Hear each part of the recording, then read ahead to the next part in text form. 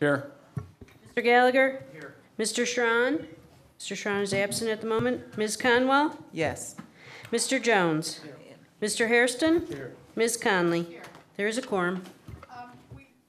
We usually have a um, moment of silence on our agenda for our regular meetings, but I'd like to take a moment of silence today um, for the father of our sheriff, Frank Bova. Frank Bova Sr. um, passed away um, several days ago. His funeral was today. He'd been a dedicated public servant and law enforcement officer in this community for many years, and we'd like to recognize his passing by a moment of silence.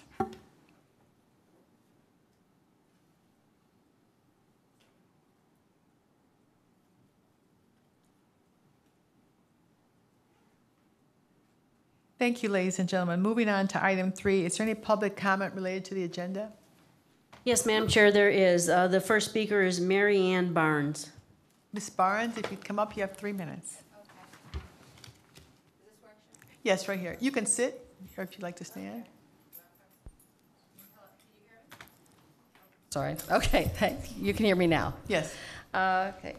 Uh, Madam President, uh, members of County Council, uh, Mr. Fitzgerald, and uh, members of the press and the public. Uh, uh, My name is Mary Ann Barnes, and I am uh, co-president of the League of Women Voters of Cuyahoga area. And I am speaking today for the members of all three leagues of women voters in Cuyahoga County. And we would like to address you this evening on the proposed county ordinance, taking a stand against the current, against current and any future state-sponsored erosion of voter rights in Cuyahoga County. Uh, League members support this voting rights ordinance because we have not forgotten the problems that Ohio voters experienced in 2004. Ohio's adoption of no-fault absentee and early in-person voting after that dysfunctional election has prevented a repeat of similar problems, particularly in urban areas where population is high and residents move frequently.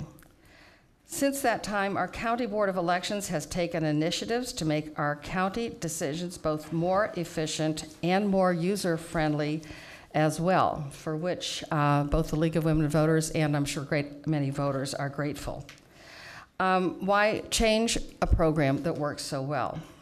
Counties save money when up to a third of Ohio voters cast ballots before Election Day. Any increased costs associated with early voting can be made up with efficiencies facilitated by early voting, such as consolidating precincts, reducing polling places and poll workers and voting machines, for example. While other states are looking to expand early voting options, Ohio is moving in the opposite direction. In the name of uniform procedures, among Ohio's 88 counties, we now hear that a one size fits all process should treat densely populated urban counties the same as sparsely populated rural counties. The establishment of uniform procedures across the state fails to consider unique needs and instead aims for the lowest common denominator. For these reasons, we urge you to exercise the residual powers inherent in our new form of charter county government and adopt this voting rights ordinance for Cuyahoga County. And thank you for giving us this opportunity to address you this evening, or this afternoon, rather. Thank you. Okay, Another speaker? Adele Eisner? Miss Ice, oh, okay.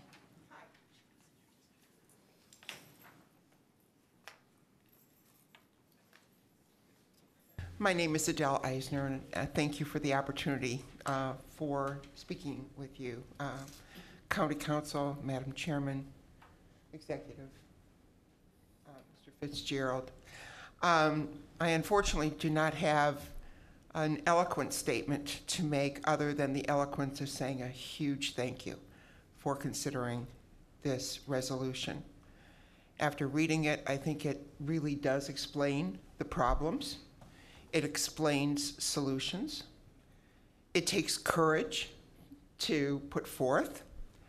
Uh, my own history is that for the past 15 years, I have been working my bones down for voter rights and to see what has happened in Ohio, underlaid with excuses that make no sense and often with virulent, hateful, um, with virulent, hateful underlays of philosophies. Um, it's not only sad, I think it's horrific. So, once again, I'm hoping that this committee of the whole will um, hastily put forth this item onto the county council's agenda and hastily pass it. Uh, and again, I want to thank you for your courage, your leadership, your leadership, and I came here in appreciation. So thank you very much. Thank you. And just for your, um, everybody's edification, this is in the committee of the whole, and it will be referred to, assuming we have the votes that assume, will be passed on to the regular agenda for our next meeting, which is next Tuesday. Anyone else sign in? No, Madam Chair. Okay. Um, Thank you. Uh, Item three, items referred to committee. And Madam Clerk, will you read the first item? Resolution number 2014-0082, a resolution confirming the county executive's appointment of Elise Hara upon her taking the oath of office as Cuyahoga County Director of Human Resources and declaring the necessity that this resolution become immediately effective. Uh, Ms. Hara is here for confirmation, and it has been our practice to allow you to make essentially an opening statement, and then we'll entertain questions from uh, any members of the um, council. Thank you, Madam President. Um, I've had the opportunity to work with all of you for the past almost three and a half years, and I want to thank you and the executive for giving uh, my department the necessary resources, I think, to succeed in the task that I was assigned. Um, I know you have a very lengthy agenda, so I will be brief. Uh, as reflected in my resume, I've spent a majority of my career as a public servant. My last position was with a nonprofit as their general counsel.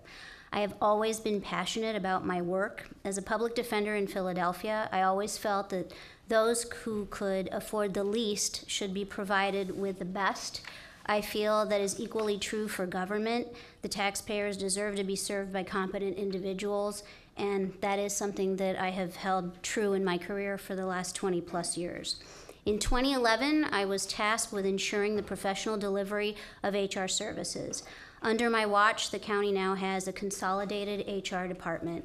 Much has been centralized and streamlined since 2011 in anticipation of the move to a new building, another consolidation, and future enterprise resource system.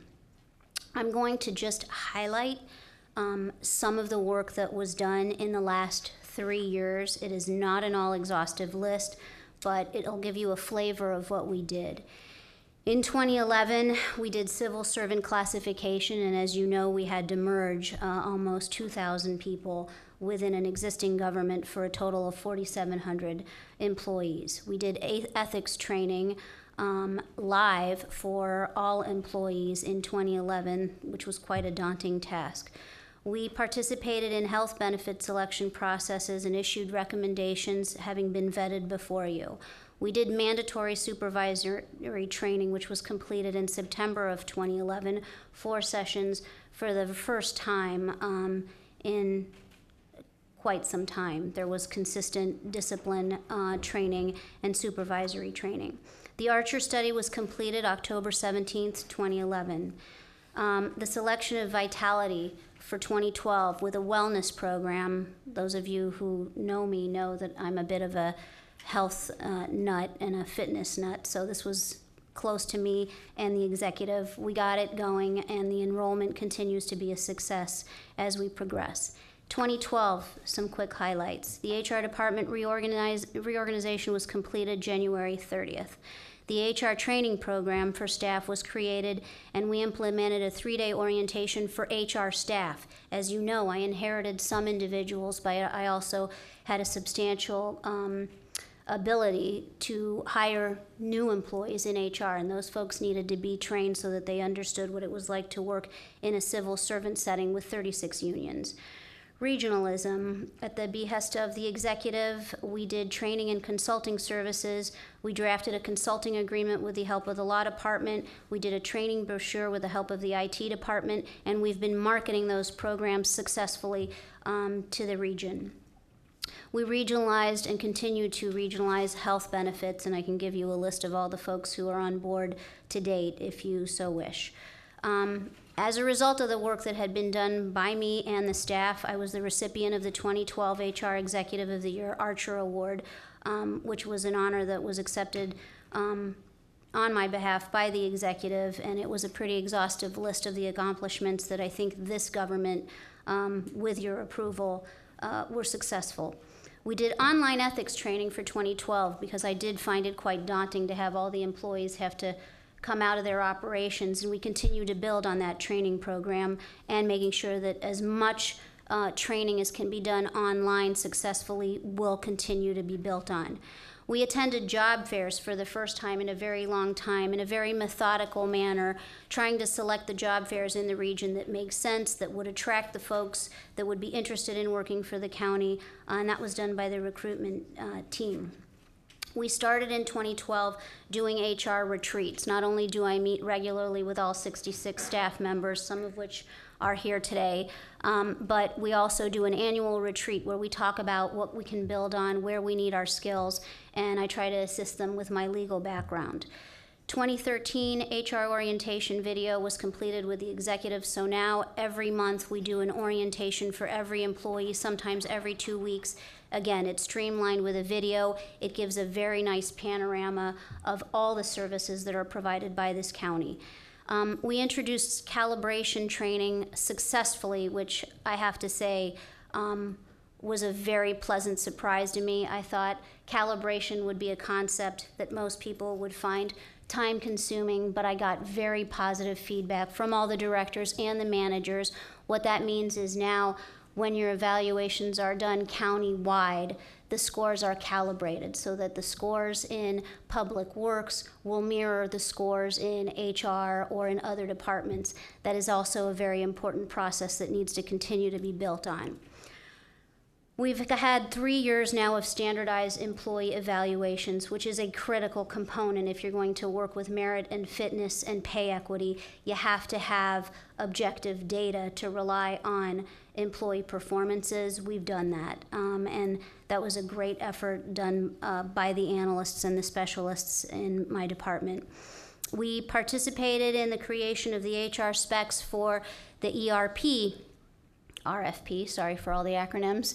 Um, but that was a very daunting, um, labor intensive process because I needed all my team leaders to weigh in on benefits, time and attendance, discipline, uh, hiring process so that when we work with IT and fiscal to vet that vendor process, we're getting the best, more, most efficient processes in place as we roll that out. Uh, and finally, um, something that I'm actually very, very proud of with the, the training um, management group in HR is as we worked to support the sheriff with Metro to get the Metro staff to be successful in the jail, we had a very important role in terms of making sure that we heard the needs of Metro. And what that meant is a lot of their staff didn't know what it was like to deliver services in a jail setting. So, as of last week, again, with the incredible support of the IT department, um, we now have an orientation video that has been presented to Dr. Tallman so that every time new medical jail comes in, that staff gets oriented and they get a sense for an hour and a half of all the information of what it's like to deliver services in that setting. We did it in a video so that they can break it up and do the orientation again without disrupting their operations. None of this could have been successfully accomplished without a strong team and the collaboration of my fellow directors, in particular Jeff Mowry and Majeed Makhlouf. Um, his department, the law director, transitioned the labor work and negotiated those 36 contracts brilliantly with HR understanding that we were a support role. We were not supposed to be the front and lead negotiators at the table. That's actually, I think, been a win win for the county, for the unions, and for both of our departments. I inherited some incredibly capable staff, and I hired new employees with the right HR educations and backgrounds. We still have a lot to accomplish, but the blueprint of a solid HR department that can serve as a business partner to all county agencies is well established to ensure transparent HR and employment practices for future administrations. That's the task that I was given, and I believe it's been accomplished in this time frame. Thank you, Ms. Hara. I think I should have called on Ms. Conwell first. I believe that you had comments to make, or? I want to make questions. Oh, okay, all right, so go ahead and start with your questions. Through the chair to the director, you just, uh, your last line, Director Harry, you accomplished a lot in your three years with over half a year left in this year. Uh, What plans or directions do you have for the next four-year term The next four-year term. or in- in moving forward? I think the f- next six months, um, we have to finish up the evaluations, make sure that that ERP process is in place. Jeff Mallory and I will be working very closely to ensure, we'll continue to work very closely to ensure that the right vendor is selected and that our staff is well-trained to be able to effectuate that. I have an imminent move in July, and although you don't hear about us a lot, HR is pretty instrumental in ensuring that the employees are transitioned smoothly into their new building, and I think there's going to be a lot of goodwill and excitement about that prospect. Uh, the next four years, I suppose um, I will be um, available if the next administration is so inclined. All right, uh, next question. If you had to prioritize the following, and the reason that I asked the four years is because there's a lot of things that HR still has to uh, prioritize and move forward with. If you had to prioritize the following, civil service testing, pay equity, or completion of the classifications, in what order would you prioritize and why? That's a very good question. Um, Councilwoman Conwell, I think the, um, the first priority is to ensure that the PRC gets the civil servant testing in place. Why? We've never had a centralized testing. When I first came on board, I recognized that uh, all of our population is civil servants. We have a few unclassifieds, but I won't. They're not really the focus of the next step for the for the uh, for the next administration. What has to happen is there has to be a setup for testing, and I have stressed to the PRC that there has to be a nexus between the job description and the tests that are created. This is not something that should be done uh, by an HR department. It's something that should be separate for autonomy's sake, um, for transparency's sake. And I think the way it works and the way I've um, spoken to their administrator is they do the testing, they do that part of the scoring, they give HR the lists. We then work with the directors to ensure that the positions are filled with the proper interviewing processes. I think that has got to be um, front and center. Now, that doesn't have a lot to do with my department in terms of setting that structure up, but I think that's very critical. Pay equity. I think that's also very important, but everybody wants to reach pay equity very quickly, and unfortunately, when you have a new government, that's just not um, attainable. Uh, You, you don't get a set of evaluations after one year and say, okay, we have the evaluations, let's fix all the salaries. We actually did some pay equity work when we um, restructured layoffs and we did um, pay reductions and in some cases pay increases. Uh, that was the first step. The second step, in my mind, professionally, was to get an ability to quantify people's work. And that was done through three years of consistent evaluations and improving and building on that evaluation process. So the next step will be to hear what the PRC's recommendation is with respect to movement along steps. They may say that they don't think that the um, salary schedule is um, a, a good tool. They may say, you know, we have a different means of awarding salaries and, and moving people along a different type of scale. They're doing that. uh, by getting their vendor and, and vetting that process. Their recommendations, I would imagine, will come to the director of HR, who will then present it to the executive and determine what should be proposed to council. And so, you know, my main question was to prioritize, so you would put Civil pay servant. equity, uh, civil service first, but pay equity over the completion of the classifications?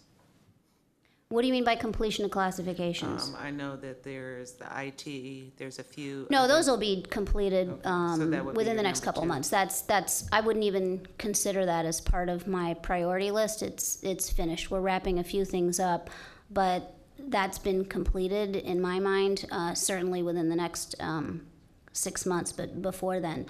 I think the next big projects are civil servant testing centralized and administered in an efficient manner um, that's not too heavy with bureaucracy. And then once that is done, the pay equity component, and I'm only prioritizing it that way because I'm aware of the vendor selection and the steps that the PRC are taking. So I'm just being realistic about the timeline. Okay. Because my focus is they can both move along together, pending on the RFP. Uh, Third question and final question for this round. If you had to uh, choose from what you have accomplished thus far, which has been a lot, with Human Resource Department, what do you think is your best accomplishment?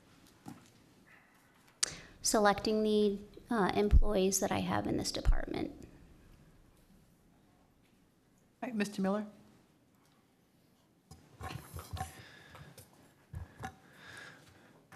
Madam Chair, uh, Ms. Hara, congratulations on your uh, recommendation for appointment.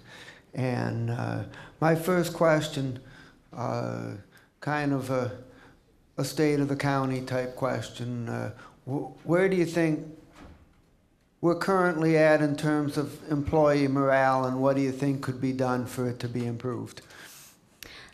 Councilman Miller, the executive and I have discussed this, and I think um, it, it may seem trite, but it's actually not. One of the biggest morale boosts is to have new surroundings, and in about two, three months, a majority of the employees at the county will have brand new offices.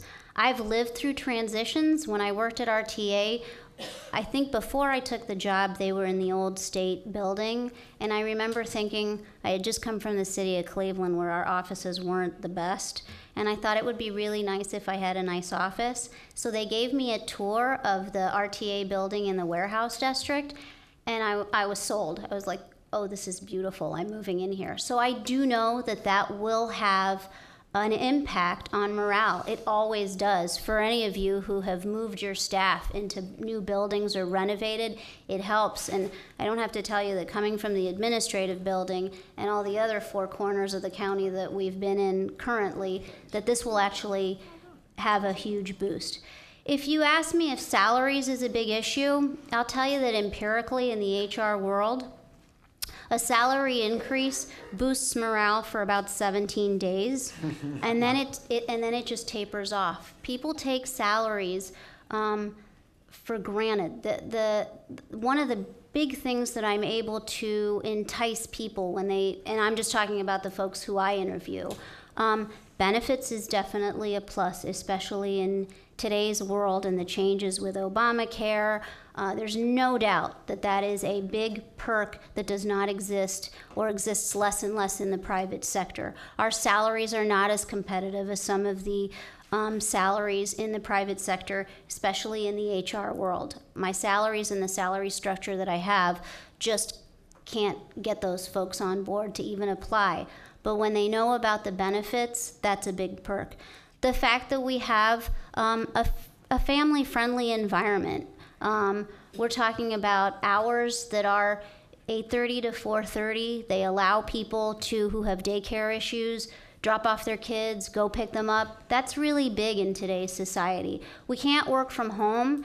If I had one wish is to actually try to move the government into that direction coming off of the administration that we did. We really couldn't um, afford that type of flexibility with the vigilance because we had issues, but the feds do it, and I do think that there's a way for local governments to do it as well.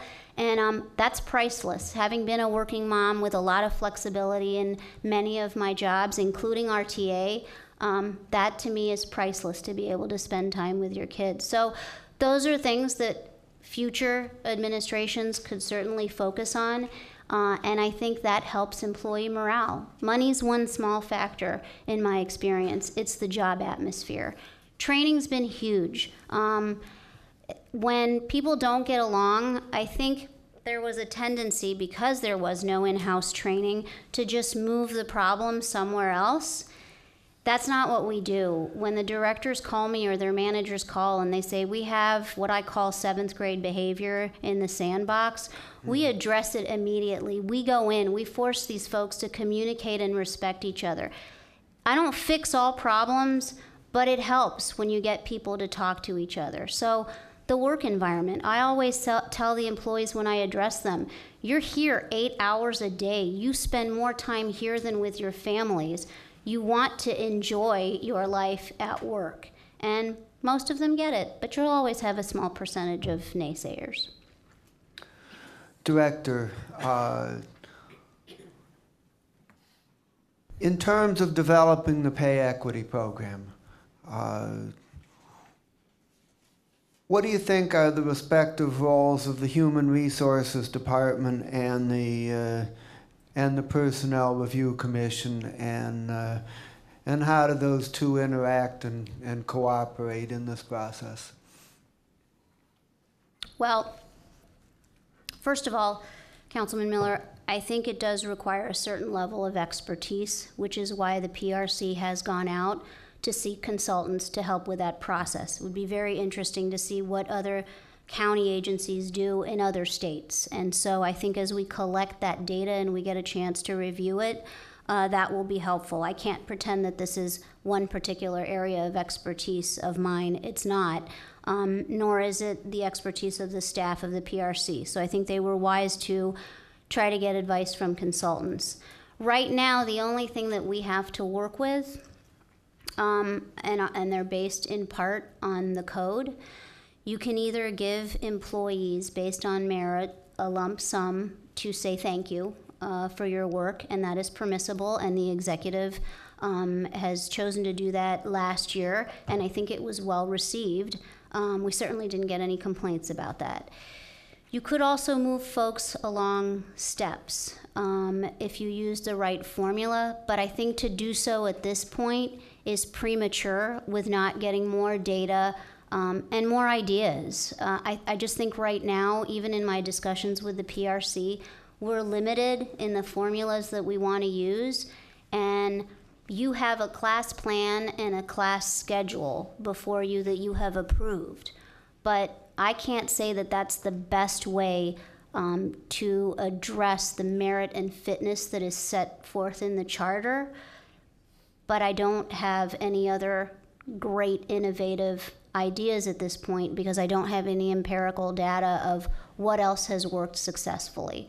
And so I think that once the PRC um, gets that data and information and makes proposals, they will be collaborating with the HR department to determine what makes sense vis-a-vis the charter. And then we take it to you and the executive.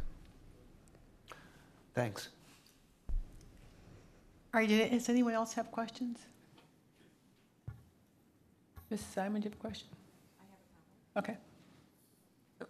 I just want to thank um, Director Hara for the work, hard work she's put in the past three years to accomplish a monumental task of coming into a new government and facing the issues that we all faced. And I think you've done a great job and really appreciate the work um, you've done. Thank you. Uh, If there are no other questions or comments, um, I'll entertain a motion to move this matter to the regular agenda uh, for adoption under suspension of the rules. Second? Moved by Mr. um, Brady and seconded by Mr. Germana. Any other questions or comments? Ma- Madam President, Yes. if I could just briefly say, just say a word uh, on behalf of my director, if I could. Yes, proceed.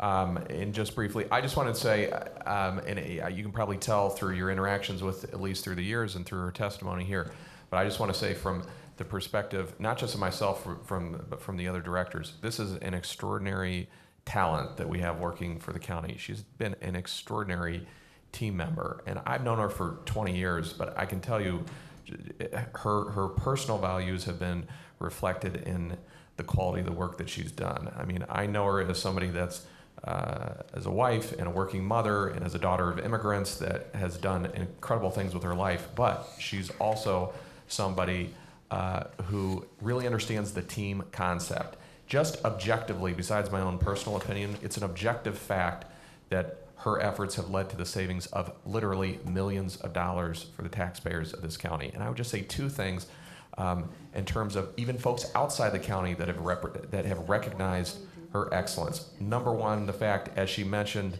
uh, briefly, she's been recognized by her peers in 2012 as being the premier public sector HR professional in this county. That was something that was done through peer review. Not just my opinion, peer review. Secondly, um, the fact that we have continued to be able to expand our healthcare services uh, to other uh, municipalities is because um, she has established a working relationship with suburbs in Cuyahoga County, and they have confidence in the caliber of the work that both Elise and her staff have done. I don't think I have a single director that understands the team concept as well. So when you see the successes of the IT department or the sheriff's department or any other number of departments, it's in large part because of the work that she's done. I think you've probably seen that in the last three years, but I just I would be remiss if I didn't uh, relate that to you from my perspective as well. Thank you very much, Madam President. Hey, thank you. All right, um, it's been moved and seconded that this matter be moved to the, uh, regular agenda under suspension of the rules for adoption at our next meeting, which is Tuesday, April fifteenth? Eighth, sorry, April eighth. All to the favor indicate by saying aye. Aye. Opposed? The ayes have it. Congratulations, Ms. Hara. You moved on to the next step. All right, moving on to item B. Ms. Madam Clerk, will you read the item, please? Resolution number 2014-0100, a resolution extending the term of interim county treasurer Jeanette Wright for up to an additional 90 days or until July 18, 2014, and declaring the necessity that this resolution become immediately effective. Um, I- I'd like to call on the law director to just give us a little procedural background on the um, uh, act, or the interim, the status of an interim director. Sure. Uh, Thank you very much, Madam President. And uh, basically, under general law, there's the concept of acting directors who can serve until the new uh, successor comes in place. Uh, What uh, happened in the last uh, charter amendment is the charter introduced the idea of an interim director who can serve up to 120 days, and then um, the, they can only continue in that position either temporarily or in a longer time period if confirmed, if that continuation or that extension is confirmed by the county council. Uh, Ms. uh, Wright has served, uh, or serving th- through the first four months since the adoption of that charter amendment. Uh, And the idea, because they wanted to extend her duration for another 90 days, on the recommendation of the law department, this is submitted to the council to, uh, for the confirmation of the extension. But this is not a permanent appointment. This is an extension of the interim position up to a period of an additional 90 days from, uh, from the expiration of the time period, uh, which is four months from when the charter amendment was adopted. All right, so this will take us through July the 18th. That's correct. And so hopefully that we'll get a recommendation for a regular appointment in a timely fashion, so we won't have to rush this on the agenda like we Yeah, did I, this I one. can't, I- Mr. Boyle is the person on that, on the, on the appointments, but the legalities, that's what's happening. Okay. I was kind of hoping uh, Executive Fitzgerald would be in the hot seat on that one. No, I, I, I- uh, Council President, your, your your comments are of course correct. Um, And, and just on, on that issue, there, every job in the county and every board and commission appointment is, is publicly posted, including chief of staff, every, you know, Executive Harris position, every other position, including the treasurer's position. And so um, they're, they're, they're, the executive uh, administration is, is receiving resumes, applications, et cetera, and reviewing them. Uh, And, and, and obviously, the expectation is that uh, in, in very short order, someone will be placed before this body for review and hopeful confirmation in this position. It, it's Right, because we had to put this on the agenda, because we we have a very crowded agenda, and we had to add this because of, in the interest of time, so that we would not be without a, a acting treasurer, so, I, I, I, uh, on a certain level, take a mea culpa on that one as well. okay. Um, is Ms. Wright here, and do we anticipate hearing from her, or are we just gonna do this as a, Ms. Wright, gonna come forward, please? And I think the procedure will be that she'll give us a brief statement, and we can determine whether or not we want to move it on to um, the regular agenda for adoption for the extension to July 18th. Good afternoon. The other lady got to sit. I don't know why they took your chair away. They weren't sure that I was going to speak, but I won't be before you long. I would just like to say, uh, thank you for this opportunity to consider me for extending this position for up to 90 days. Uh, Prior to joining the treasurer's office, I had been an employee with Cuyahoga County for nearly 14 years um, in various supervisory and fiscal positions. I earned my Bachelor of Science degree from The Ohio State University, where I majored in finance. I am a longtime resident of Cuyahoga County, as well as an active member of my community. Since my interim appointment to county treasurer, I've played an active role in the creation of the contract for our last tax lien sale. My contributions included the requirement of monthly reports from the purchaser, developing and staffing an office within Cuyahoga County. Currently, they have about three veterans in that office, and setting bond requirements for properties that become vacant under the ownership of the purchaser. I have identified and improved office procedures and processes. In October 2013, the investment policy was updated. Treasury staff have compiled written office procedures and policies to prevent the loss of information and institutional knowledge uh, that is lost when we experience staffing changes. Our standards, our office has the standards of performance that were developed and implemented for our staff. The entire Treasury staff is required to take customer service training offered through Human Resources. Uh, the entire Treasury staff will possess a knowledge of intermediate or better skill level in Microsoft Excel before the end of the year. Under my term as Treasury, as Treasurer, excuse me, uh, the Treasury has also completed a successful first half real estate tax billing. We are continuing to expand our options for customer payment, including a kiosk that will be in place for the second half tax billing. Strategies are being implemented to reduce the total parcel uh, delinquency to six and a half percent or lower by the end of the year. The Treasury has an investment manager that continues to make prudent investments that safeguards the principal, maintains liquidity, and maximizes the yield on our investment. In addition to the work that I have done in the office, I serve as the chairperson for the Investment Advisory Committee. I'm a board member on the Cuyahoga County Land Re- Utilization Corporation Board. I serve as an alternate to the fiscal officer for the purchasing, excuse me, contract and purchasing board, as well as the Board of Control meetings. I am awaiting final approval to become a board member of the Cuyahoga County Community Improvement Corporation Board. I'm also a member of the Ohio Treasurers Association and are to participate in continuing education courses offered by CPIM. I thank you for your consideration and will be happy to answer any questions that you might have.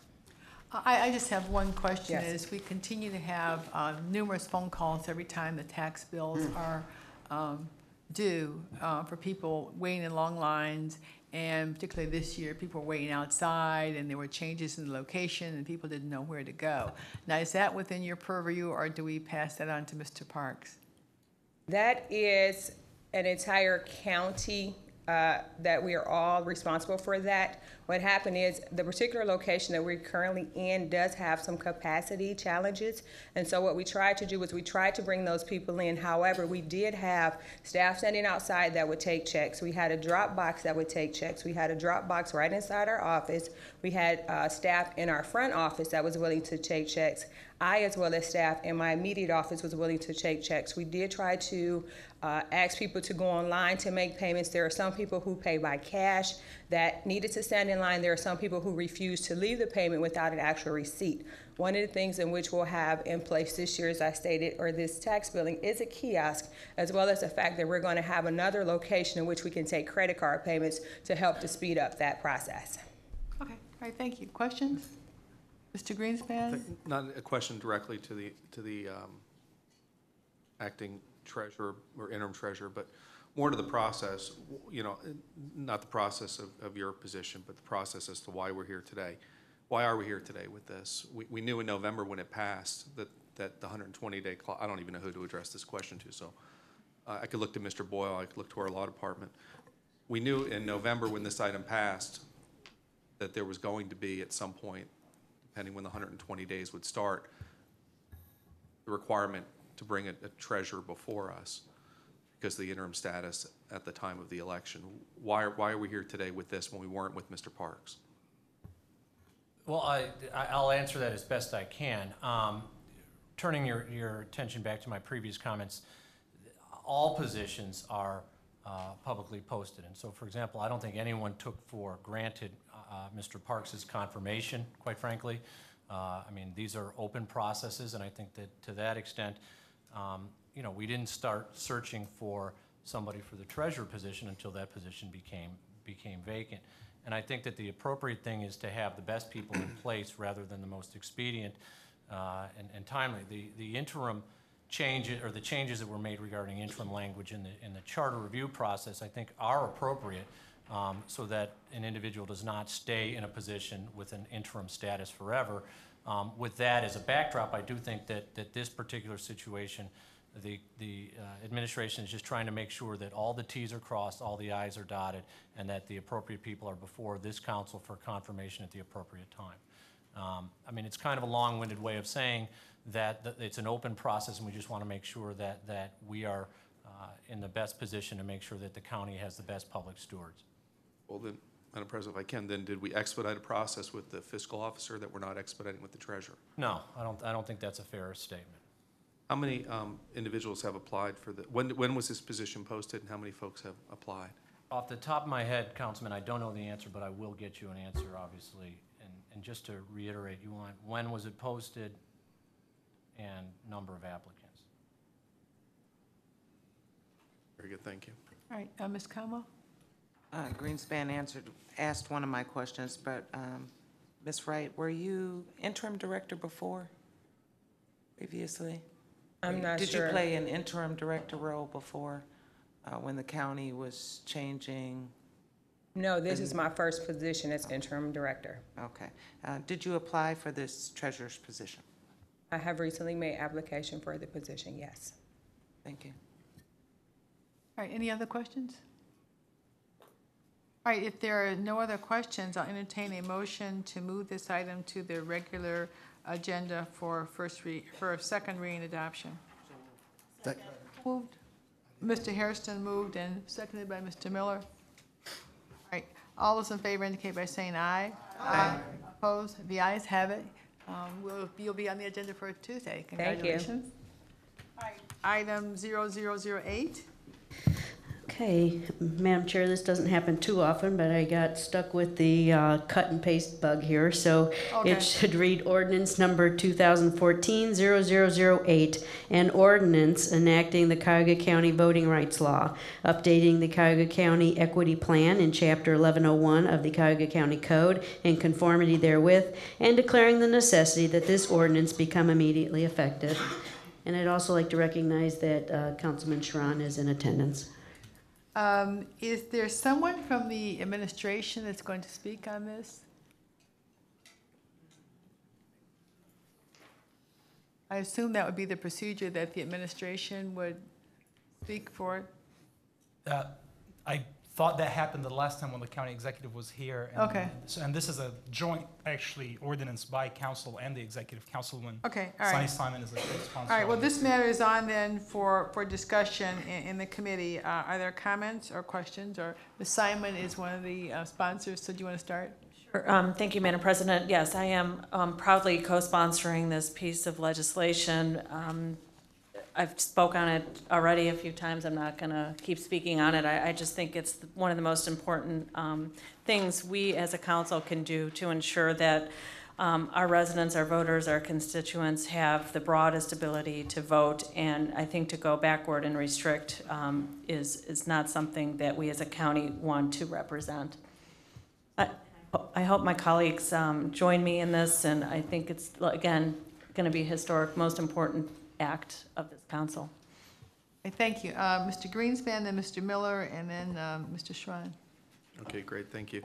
Um, As my colleagues are aware, I sent a letter to the law director uh, with, with a number of questions. Some of those questions were answered, but but some were not, so I'd like to ask those questions now. Um, The, i- is it the administration's position that, that this will be a practice, if this passes, that will be offered at every election taking place in the county, meaning every February and August special election, every political subdivisions election issue? Is it the county's position that that's what this will do? Uh, My understanding, and I did confer with the county executive on that, that that is the desire of the uh, county executive. That, of course, will be worked with the county council through the appropriation process. So the, you know, but the desire is that that happens at every election. But the funding for it will be done through the appropriation process. And you, and you actually led nicely into my next question. What, what are the projected costs for, let's, let's say, a, a general election and a gubernatorial or presidential year? What are the projected costs of this program? I, I don't have that data specifically for you because I think it'll depend how it gets done. We need the law in place to be able to, to, to do the data. Uh, but I, and it varies from election to election, the, you know, the cost uh, and how you do it, whether we ourselves uh, mail them or whether you contract it out and you get an independent vendor to do it for you. Uh, I know in 2011, I don't know if Bonnie remembers, the cost has been reported in the newspaper. Uh, there was uh, some calculation for it in 2011. It was somewhere in the neighborhood of two, three hundred thousand dollars, I think, for the entire mailing. But I would say to keep in mind that this is not a new expense for the county. Uh, this is something that the county has paid for consistently for every election, including special elections, uh, since the uh, 2006 election, because the Board of Elections used to send out uh, these applications. So that's not a new expense. It's just a matter of moving the, uh, you know, the appropriation from one, one place to another place, how you pay for them, but it's not a new expense for the county. So, the answer is we don't know how much it's gonna cost. We, we don't know the cost implication. I of give you the ordinance. best answer I can give you, I guess. I, I, I, you know, you'll have to, to see what, what the, you know, when you bid out a contract, every time until you get the bids, you don't know exactly what the, what the, what the cost is. Okay, So, so we don't, we don't know the cost, is, is the answer. Again, it, it's gonna, I, it depends election to election, it depends on, uh, you know, I, I presume it's a varying cost, uh, but I will, I don't know the exact cost Well- for a specific election. Well, just further to your testimony, if this is not new to the county, then we should be able to identify what the cost of this would be to the taxpayers. We'll, we'll get you the data on Okay. how much it cost, uh, for all the elections since two thousand six. Great, thank you.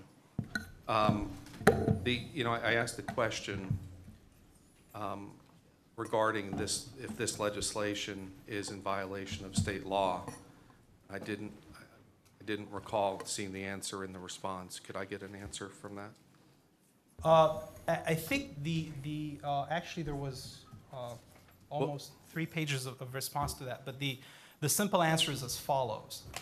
Uh, When you are a, uh, home rule entity, you have the ability to pass laws, uh, on, uh, and the question whether the state law survives scrutiny, uh, in a home rule analysis, the Ohio Supreme Court has articulated a four-part test uh, on whether the state law will survive a home rule analysis. The first test is whether the law is part of a statewide and comprehensive legislative enactment. Number two is whether the law applies to all parts of the state alike and operate uniformly throughout the state. Number three is whether the state law sets forth police, sanitary, or similar regulations rather than purport only to grant or limit power of a municipal corporation to set forth policy, sanitary, or similar like regulations, which is exactly what this law does. It only purports to limit the ability of the local government to do something. And number four, it's whether the law uh, prescribes a rule of conduct upon citizens generally. The state law would only pass that home rule challenge if it meets every single one of those four elements. Uh, the case that I cited to you in the letter is a case from the city of Canton, uh, where the state passed a law banning local governments from uh, regulating um, mobile homes. And what they did is they left a provision where you could do it by private deed. You can, uh, you can in a private deed put a deed restriction where you limit the, the, you know, the placement of a manufactured home on that, uh, on that property, but they limited the ability of the city uh, to regulate manufactured homes. And what the Ohio Supreme Court did, it struck down that law because it found it to be violative of home rule powers uh, because of that private exception where they allowed the private parties to do it, but they forbade uh, the, the local governments from doing it. And they found that it failed, that made it that made it fall under every one of those four elements that I read to you. That private exception made, it, made that state law fail. The current law that we're talking about in Senate Bill 05 does exactly the same thing. It allows private parties to go out and mail uh, the applications to vote by mail. It allows poli- uh, political parties to do them. It allows private corporations to do them. It only places a limitation on the governmental abilities to do it. So whichever way you look under the city of Canton test that the Ohio Supreme Court articulated, that state law would not survive a home rule challenge. Uh, so I think the answer to you, does it violate state law? The question is, does the state law survive a home rule analysis? And I think our answer is the state law does not survive a home rule analysis because it only proposed to limit the legislative power of the local governments. It doesn't regulate the citizens generally. It doesn't uh, you know, it doesn't prescribe a rule of conduct upon the citizens. So, So, so in, in, in your citing of the Canton case, which relates to manufactured homes, and, and I know those who live in manufactured homes take exception to the word mobile home. Sorry. But, no, that's okay. The, um, the, the question of applicability related to voting, is it the law department's opinion or the administration's opinion that the Beachwood versus Cuyahoga County Board of Elections is less relevant when it relates to home rule than the Canton case of one which deals with, man- with uh, zoning and land use? absolutely. Uh, a And- couple of and things. Number one is the Beachwood case was a case about detachment of property. So you're dividing a city and creating two separate cities. So you were clearly outside of the jurisdiction uh, of the boundaries of your city. And the court said that when you're trying to pass a law that, that goes up, how cities operate, whether you have one city, two cities, that's a matter for the state to regulate. You were clearly outside the boundaries of your jurisdiction. And again, as I explained in that letter, that Beachwood case was even, even itself, while we pass every test under that Beachwood case, that case itself was even further limited in the, in the future case of Shaker Heights, uh, where our own Court of Appeals limited the, the uh, reach of the Beachwood case from 1958. Uh, the City of Canton case is a much more uh, recent case, and that is the test that the Ohio Supreme Court applies today. not The law, City of law- the law director's answers are, I think, were reduced to writing, so do you have any more specific questions? Uh, Yeah, let me um, look through my notes here. So the, the discussion that, that we had in regarding the, the, and first of all, let- let me start by saying, and as I said a few weeks ago, I clearly favor early absentee and in- in-person voting. I'm concerned with the opportunity of maintain, or, or, or the opportunity, the concept of creating a level playing field for something as fundamental as voting, uh, not only in the county and the state, but, but throughout the country where, where applicable. And I, I get concerned, and the reason I draw attention to that Beachwood case uh, and, and my further statement regarding the 17 crossover districts to which candidates will be on the Cuyahoga County ballot and 16 other counties, let alone state issues, which are, are on all 87 counties, where our voters will have a different set of rules in the voting process. And as I said last time we talked about embracing the concept of, of equity as we have done and as we all supported in our equity ordinance, I challenge, number one, the concept of does that, does this ordinance itself provide an inequitable voting opportunity uh, for Cuyahoga County residents versus those in our 16 adjoining counties to which we share elections or on statewide issues, the 87 other counties? The other challenge that I have, obviously, the I think that ec- re- question was answered in, in Mr. Makhlouf's written responses. Yeah, and just for the public record, this is not a situation that this ordinance is creating. This is a situation that the state has created because the current state law allows private parties to mail it. So if the, if the Lucas County Republican Party or Democratic Party wants to send voters uh, application to vote by mail in Marcy Kaptur's District only to the voters in Lucas County, there is nothing in state law that would bar that from happening. All what we're doing in this ordinance is we're providing an additional service to our citizens in Cuyahoga County. Citizens in the local governments, and that's the whole idea of home rule, choose to pay for different services and there we have some local jurisdictions where the citizens pay for recreation centers and uh, and uh, swimming pools. Their voters are willing to pay for it. We have local jurisdictions that are willing to pay for services to their senior citizens. Their voters are willing to pay for it. We have the case of Shaker Heights where the voters are willing to pay for trash collection where the city comes in your backyard and uh, and other so that is a service that's simple. We're not trying to tell the Board of Elections what the Board of Elections can do. We're not trying to tell the state what the state can do. This is simply a service that we are providing to our citizens like any other uh, service that we provide to our citizens. I think the most uh, stark example, Councilman Greenspan, is the Veteran Service Fund, where we had a situation where state law put limitations on the Veteran Service Commission's ability to spend those dollars and what they can do.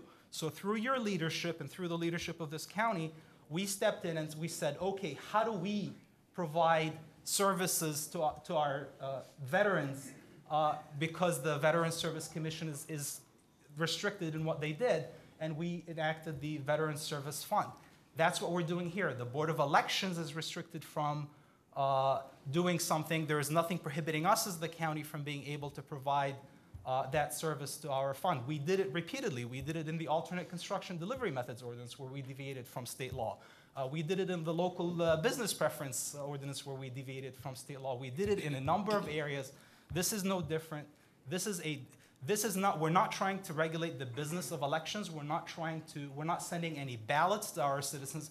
All what we're doing is we're providing a service to our citizen no different than uh, when local governments uh, provide swimming pools, even if they want it to, to, to uh, their, uh, to their uh, citizens.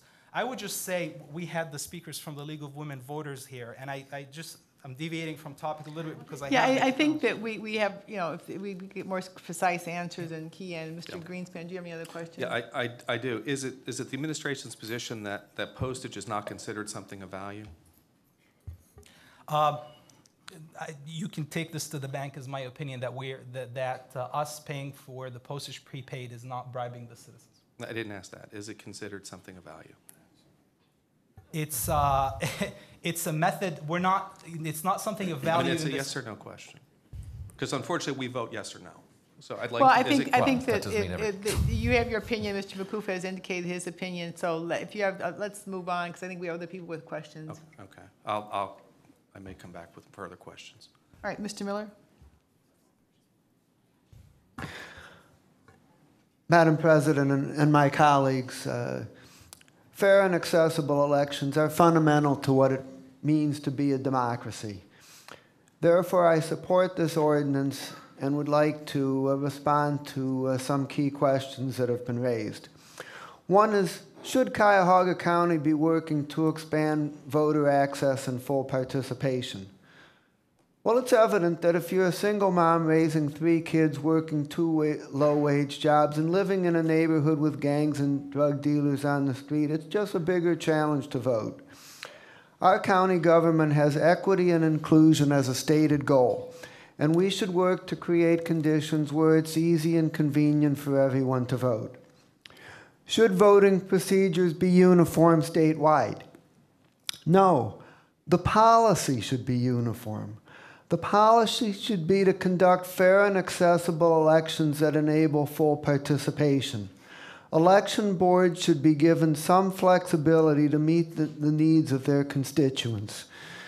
Uh, does this ordinance violate state law or directive? It's not clear where the limits of home rule are. We already know that we may provide for the duties of various county officials that are otherwise provided for in state law, as long as we provide for all the duties to be performed. I'm for testing the limits of home rule. We need to know how far our authority extends. Even if the ordinance were found contrary to state law, the state law may well be contrary to the Federal Voting Rights Act, which trumps state law. Will the ordinance lead to litigation?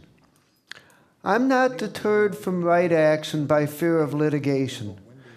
However, Section 1 of the ordinance expressly authorizes the executive to promote voter participation, but does not direct any particular action. And Section 2 amends a section of the equity plan that is clearly labeled as an aspirational statement. Therefore, I believe that the legal impact of this ordinance will depend on how it is used. I commend Executive Fitzgerald and Councilwoman Simon for bringing this legislation forward. Your commitment to fair and accessible elections has been steadfast and consistent over time. It is unfortunate that we even have to deal with this issue. Ohio made great progress from 2006 through 2012 on fair and accessible elections with bipartisan support. Now, new state laws and directives threaten that process. The changes disproportionately affect the poor, minorities, and the homeless, and that's not what America is all about. It has been said that we should think globally and act locally. Self determination through fair and accessible elections is what the world needs. This ordinance is our local response to that need. Thank you, Mr. Miller. Uh, Mr. Gallagher has some comments, but he's going to submit them in writing for the record. Uh, Mr. Schron? Uh, Just to follow up on the, the- I guess, some of the questions that were raised by Mr. Greenspan, is it your belief that since 2006, we've mailed out prepaid postage on both the application request and then the application return?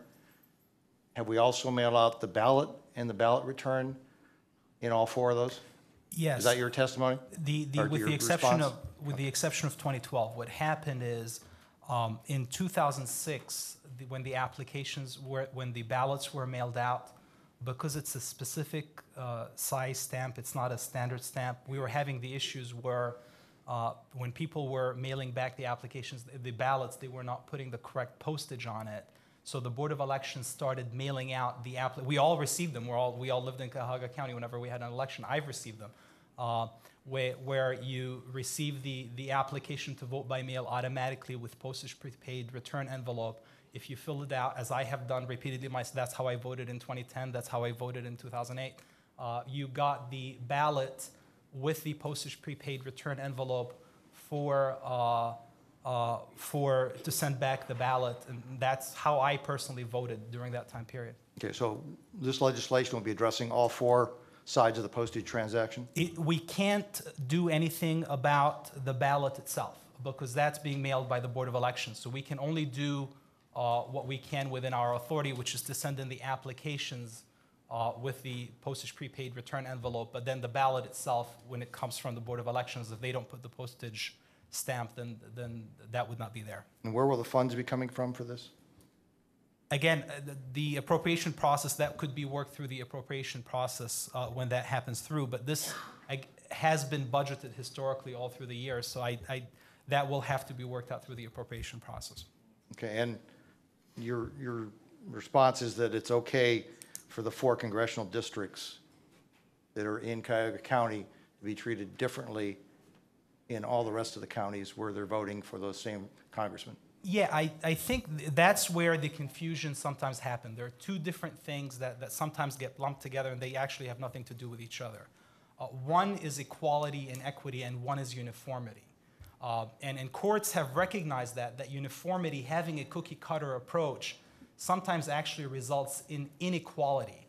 Uh, so different counties have different needs. Uh, there are different population sizes. There are different transportation methods. There are different even uh, some uh, jurisdictions vote electronically. Some jurisdictions vote. We have the you know the fill in the box. So you can't have exact uniformity for every single location. Uh, so the all what we're and, and keep in mind that currently under state law, that could happen very well because a, a candidate can only send it to people within that uh, jurisdiction, you know, within just the, the Marcy Kaptur example, where somebody can only send them in Lucas County but not in Cuyahoga County, or vice versa. That already exists. We're not doing anything that doesn't already exist. Uh, the ability to happen. in courts in the uh, Van Zant case uh, in federal court specifically rec- it was, the, that was the very issue. Those are all public dollars that you're talking about in every one of those cases, or are those private dollars? Well, the Van Zant case was public dollars. It was the Board of, they were trying to challenge the, the ability of the uh, Board of Elections in Franklin County and Cuyahoga County to do that. And the court said different counties have different needs, and they have the, so they've upheld it for board, for even the elections entities themselves being able to, to send it separately. But most of your references have all been private dollars, have they not been, at least? I'm saying state law allows all those to happen. Okay. And there was a comment up here that we should not be shy about challenging state law. Uh, is- Are you in agreement of that also? Because that ultimately leads to litigation. I think what, that comes on a case-by-case basis in the sense of a determination of a policy level in the county as to what issues matter to the county. Are And you- if we are you- Are believe, you, are you stating that, though, that this will open us up potentially to litigation and then spending taxpayers' money to then defend ourselves in a litigation? uh, we're open, I mean, you, anytime we exercise home rule, we could be, end up in litigation. I mean, honestly, Councilman, we could be, end up in litigation about the alternate construction delivery methods law, whether we can do that or not. But as a policy question, we decided that that, we- it makes sense for us to deviate from, uh, from state law and, and, and uh, do it accordance to our practices. So every time, every time you pass a law, there's a risk uh, that you could be sued for it. You know, I don't know if that's, if that's the reason not to take action. I think make, I was just, just asking procedurally. if you want to make a state, if, if you want to make a statement But now, then I think you should make a. Okay, I, I- I'll finish up. That was my, my questions, because I, um, I do believe uh, in fighting for greater access as a veteran. Uh, I can tell you that uh, I know deep in the heart of all those veterans who died to protect all of our rights to vote. And I hope we protect our veterans both domestically and when in overseas assignments with the same uh, excitement and- and veracity. However, rather than mailing out hundreds of thousands of pre-postage uh, uh, stamping that potentially leads to a lawsuit, as, as we're at least acknowledging here today, um, and to have different congressional districts being treated differently as all four candidates uh, running for office are all, all the candidates are going to be treated in Cuyahoga County different than they will be in Lake, Lorain, uh, all the other different counties that they will be touching. Um, I can't vote for something that I think is potentially on the, the illegal side. What we should be doing, we should be using the same energy and veracity and excitement and enthusiasm to try and change the state law rather than introduce ourselves in the middle of a lawsuit. I would suggest we use the same energy to go out and, uh, uh, and work to put online uh, registration, to use the tools of, of technology and to be able to do those same kind of things uh, out there that we're talking about here uh, rather than challenge the law. Thank you. Are there any other comments? Ma'am? You know, originally, uh, one of my objections on this was the fact that there's people that are going to vote. uh, I don't know if you want to call them habitual. uh, You know, I happen to be one. I've never missed an election since I was able to vote. Um, So to mail me the ballot, uh, I thought was kind of a waste of money. But in, in looking at this, this whole controversy over, um, I've actually changed my mind on this, uh, the, the waste of money part. Because, uh, like I said last time when I was commenting, all counties are not created equal. And, uh, you know, we've had Canaanites, Canaanite nights, and we've got all these judges running around making speeches, and it's confusing. And, you know, I'm, I'm convinced that being able to study this at your kitchen table and fill out a ballot is a heck of a lot better way of voting for judges. And the fact that in Cuyahoga County, we got judges coming out our ears in, in, in comparison to rural counties where they have to vote for one or two judges or one for each spot. It's not as confusing. Uh, so not all counties are created equal. So number one, I would say this. The state should have the lowest standard. It shouldn't put the highest standard because all counties are different. The other thing uh, where I changed my money, my mind about the money cost is the people that can't afford to take off work because they got to work or you've got to go and, and, and stand in line. Those people's time is valuable and it pales in comparison to what postage is. Um, and if we're going to have crowded polling places, um, you know, people are going to have to get off work early and so on and so forth. So, from the money side, I'm convinced that the ability to take the time and vote by absentee mail, it, it's going to cut down time for, pe- for, for everyone. It's going to cut down congestion at the voting place, and we're valuing the, uh, the people's time. Madam President, if I may just very quickly. Yes. w- w- With the issue of money, it's important to- to understand also, it's not like we're paying for every postage. I think the postage only gets paid if it's mailed back. So if, if the voter just throws it away, uh, we're not paying for that postage. But in terms of the total cost to the county, just to give you statistics, in 2004, Cuyahoga County had 577 voting locations and 1458 precincts because of the success of early voting and the vote by mail uh, processes that we had in place, they were able to reduce them to 423 voting locations and 1,063 precincts. So that's savings in voting machines that you pay for. That's savings in staff that you pay for. That's so you're actually making your money in the additional voting. But today, that is a very true statement. The voters per precinct is a higher ratio in Cuyahoga County than it was in 2004 when we had all the problems because of the success of the, the early voting program. Uh, Mr. Hairston? Madam Chair, I cannot sit here and not support this, this ordinance. So if I can be added to this ordinance, I'd appreciate it. Also, I've seen firsthand the effects, as the ward leader, I've served the last four years in in Cleveland Ward 10, the effects that of not receiving that application to their home, the, the drop in numbers of voter participation that has happened in my ward alone. And also looking at the numbers across the district, the, the dip and the decline in, in folks uh, voting by mail or just voting period is devastating. And I believe this body should do everything that we can to help alleviate those issues that we've had with uh, access to, um, to voting. Thank you. Thank you, Mr. Hairston. Any other questions? Mr. Simon? Just a final comment, Madam President, thank you very much. Um, Just, when we talk about us risking litigation, that's exactly what the state did by passing um, an unconstitutional state law. So that's my first comment on that, and I'm not going to open the door to debate, but they, they, they fired the shot and they're, they're, they took the risk. I think our council um, has a choice when we talk about equity to protect our voters versus maybe somebody voting from, you know, a different county. That's our choice, that's our equity. We saw what happened in 2004, so that's where our fairness and equity, equity analysis should, should begin. And lastly, our council has the opportunity to do what's right, to do what's fair, and do what's equitable, so let's do it. And Mr. Fitzgerald has requested to have a moment.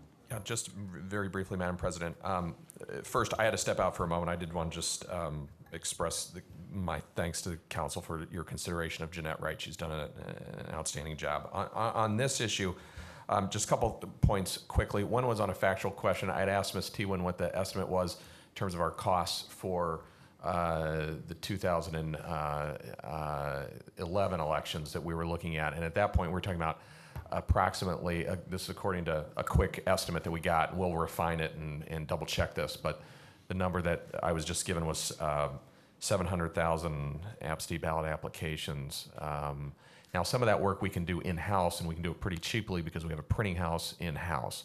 Um, But the, the estimate that we got for the mailing service uh, that Ms. Teeuwen just gave me was $55,000. Secondly, um, regarding this issue of home rule, I think everyone here believes in home rule, and home rule has started to be eroded. But I can tell you that on a number of issues where we have tried to uh, exercise our powers under home rule, we've been threatened by litigation. So even uh, speaking of Ms. Teeuwen, when we said we were going to have uh, a public works director, we were threatened with litigation over that. When we said we were going to have a fiscal officer, uh, we were threatened with litigation over that. When we said we weren't going to have a separate uh, uh, coroner elected, w- there were threats of litigation over that. Every time that under this system, or frequently under this system, as we have exercised the power that we have under a charter, we've been threatened with litigation. It's just whether or not do we believe in this principle or not. And the, the last, and I think you know maybe the most important point that I could make is uh, this whole issue about whether or not somehow this is an injustice to the residents of Lake County or Geauga County or Lorain County. We have the advantage of being to, able to compare two elections, 2004 and 2008 in the 2004 elections, it wasn't the residents of Lake or Geauga or Lorain that were at a disadvantage. It was the residents of Cuyahoga County that were at a disadvantage because these options were not available to them. It was the residents of Cuyahoga County that ended up sometimes having to wait in line until after midnight. So the old system, which we are now starting to revert to, was not an equal system in terms of results because it didn't allow different counties to devise programs that fit their communities.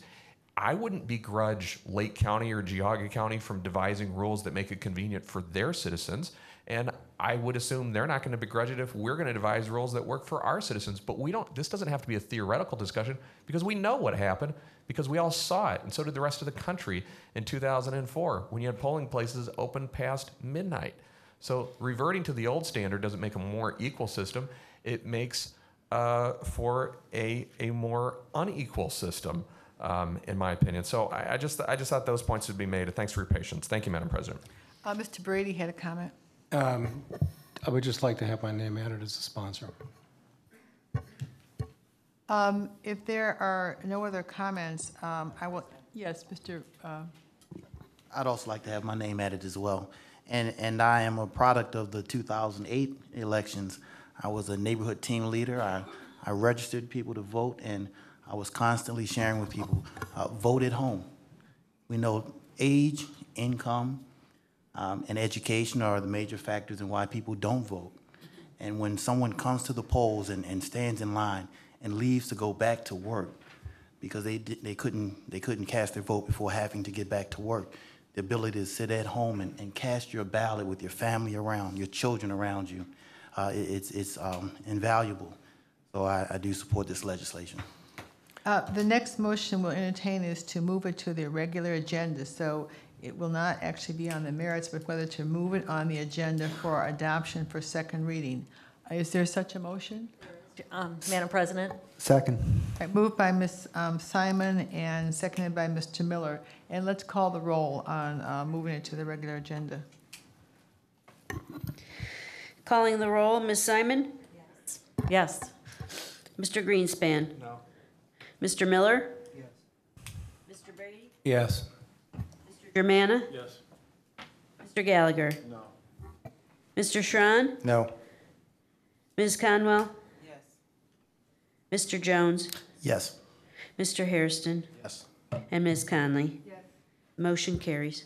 That would be um, eight yeses and three noes. Madam President, Yes, I'd like my name added, please. and Mr. Miller's name.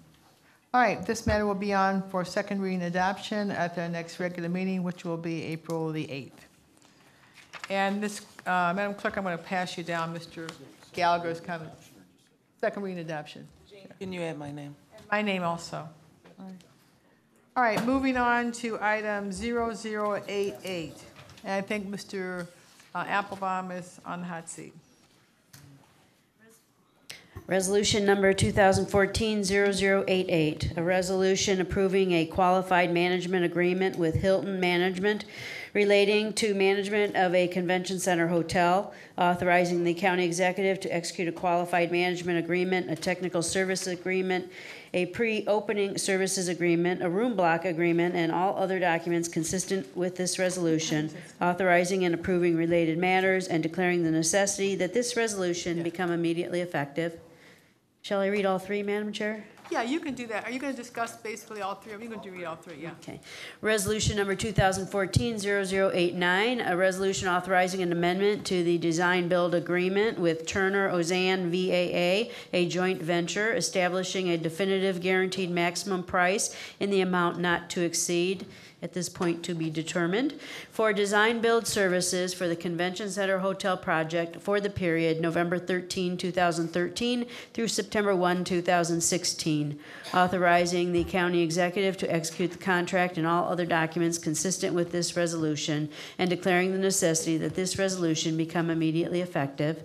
And resolution number 2014-0090, a resolution providing for the acquisition by lease purchase of real property, including a convention center hotel facility, authorizing a lease purchase agreement with respect to the convention center hotel facility, authorizing and approving other documents relating to the convention center hotel facility and financing thereof, and declaring the necessity that this resolution become immediately effective. Uh, Mr. Applebaum. Thank you. Um, I have a presentation here. I'm going to start the presentation. Uh, Tim Offtermatt will continue on with the second part of the presentation. Uh, If Tim Offtermatt can't answer a question, we have Kate Tompkins, our bond counsel, who will back him up. And if they can't answer a question, we can go to Greg Huth. Is he the fourth string or? Uh, And if he can't answer the question, we go to Bonnie Teeuwen. So we have a lot of people here in the room, and, and Majeed has also been very involved in the project. So we have a lot of people here who are involved in aspects of the project. Uh, My purpose today, though, is to kind of give you an overview of where we are, uh, to talk about these three resolutions. Part of the presentation will be today, part of the presentation will be on April 15th, because there's certain information that um, uh, I either am not ready to give you today, or frankly, it's not the appropriate time to give it because we have some negotiations that are going on between now and April 15th. And uh, some information, like financial information, is not appropriate yet uh, to be in the public venue. And I'll explain that as I get through this. So, Yes, Mr. Miller?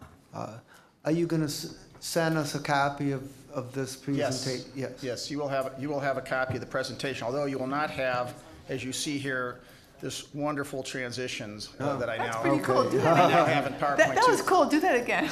Well, uh, now I've taken most of these cool things out, but this is what PowerPoint 2013 gives you. So um, um, I apologize because there's going to be one that's even worse than that that you're going to see. So the agenda uh, of what I want to go through right now uh, is I'm gonna we're going to talk a little bit about once again the timeline for council action. This is just a review of what I talked about last time I was before you. I'm going to talk a little bit about the status of GMP development. I'm actually going to give you a little insight as to where we are in design, and I have some surprises for you that I think you'll like about design uh, development and where we are right now. Uh, then I'll talk about the qualified management agreement with Hilton, where we are on that, and then I'll turn it over to uh, Tim Offtermatt to give you uh, sort of the preview of where we are on the financing plan uh, with some details that we're going to have to wait until April 15th to provide you, and we'll explain that. So with, oh, see, I, I hit the wrong button. I didn't, and now, now, now see, it, it's not going to be cool anymore. So now, um, so now, uh, this is, uh, well, the process overview. I'm sorry. You see, it's too much of a toy on my. Okay. Uh, this is the process overview. So you saw this last last time I was here. We have three proposals that are going forward because there's three things that we're doing. Uh, the negotiation of the Hilton uh, Qualified Management Agreement. Uh, these were uh, presented. These actions were presented on March 25th from the last time we added this April 1st meeting, so I've simply shown this, this is an additional committee meeting that we added. I think uh, uh, uh, uh, Mr. Miller uh, was a little critical about the process because I didn't have the information before uh, April 8th, so that's why we're, part of why we're doing this now, so we'll give you as much as we can today. You'll have your second reading on April 8th. I'll be back in front of you on April 15th with more information, and then the third reading on April 22nd. So that's with respect to the resolution for the qualified management agreement. That's with respect to the resolution that will give us, with uh, our design builder, the guaranteed maximum price and enable us to enter into an amendment to their agreement where they guarantee the price of the project. And finally, that's with respect to bond financing, and I'm going to touch on all three of them today. So the one thing I do want to point out is while we're doing all this legal work, uh, construction is proceeding on the site. That, that, that's not a very good picture, but that was out of my window just before I came over today. Um, abatement is complete, demolition now is complete, excavation is complete. We have done the pre-coring for caissons, so we actually know what the length of these caissons are going to be versus what we thought they were going to be in the geotechnical report. And we have some, some caissons that are going to have to be longer, so there's going to be some, some, this always happens with geotechnical work, some, some modification to our pricing. Uh, nothing dramatic, but, but some cost. And what you're going to see right now, if you're looking out at the site today, and you can't see it because the, from my window, the global center's in the way, but there's actually mobilization for uh, the beginning of drilling of deep caissons. So material is showing up on the site. People are getting ready to actually put casings in and, and do the deep caisson foundations. That's what's going on on the site. At the same time, uh, and I don't expect you to be able to read this, this but what this is, uh, i- i- the inclusion activities are ongoing. And you can, I can get, I'll get, I'll give you this um, as a document, but what this really shows, uh, this shows all the planned activities for engaging uh, the, uh, uh, the minority community, the small business community. This shows the events that have already occurred in yellow, the purpose of the events, and we are out there. In fact, there's another event tonight, I believe. We're out there engaging uh, uh, the uh, uh, minority community, the small business community, both with respect to workforce and with respect to small business to get them engaged and lined up uh, uh, to, to see the areas where they can uh, be involved as subcontractors and as workers on the project. So that's all going on. That's not the focus today. And at a subsequent meeting, we'll, we'll come in and show you once again uh, the development of the inclusion plan. I just wanted to let you know that's all happening in the background while we get ready uh, for uh, the critical activities over the next four weeks. That's another one of those. So now, um, the GMP process itself. So first of all, what are we doing to get to a guaranteed maximum price? Well, what has occurred over the last several months as we've developed design, we've had repeated uh, meetings with the design builder, uh, Turner Ozanne VAA. We've been going through all sorts of possible configurations of the project. We've been getting pricing. We've been looking at alternatives, uh, trying to get the project into budget. And there's always a challenge. I will just tell you this. I've never seen a project where we had a budget and we found out uh, that, the, that the architect designed half of the budget that we have. The architect always challenges themselves. They put out a very, very uh, bold and dramatic design, and it's always a question of how can we afford it, and that's the process we're going through.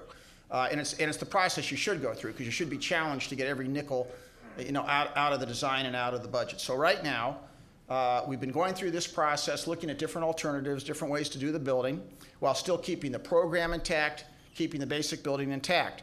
We're at the point right now where uh, we are now getting the formal submission from Turner. We've had estimates and guesstimates, but now they're giving us the formal submission of the guaranteed maximum price.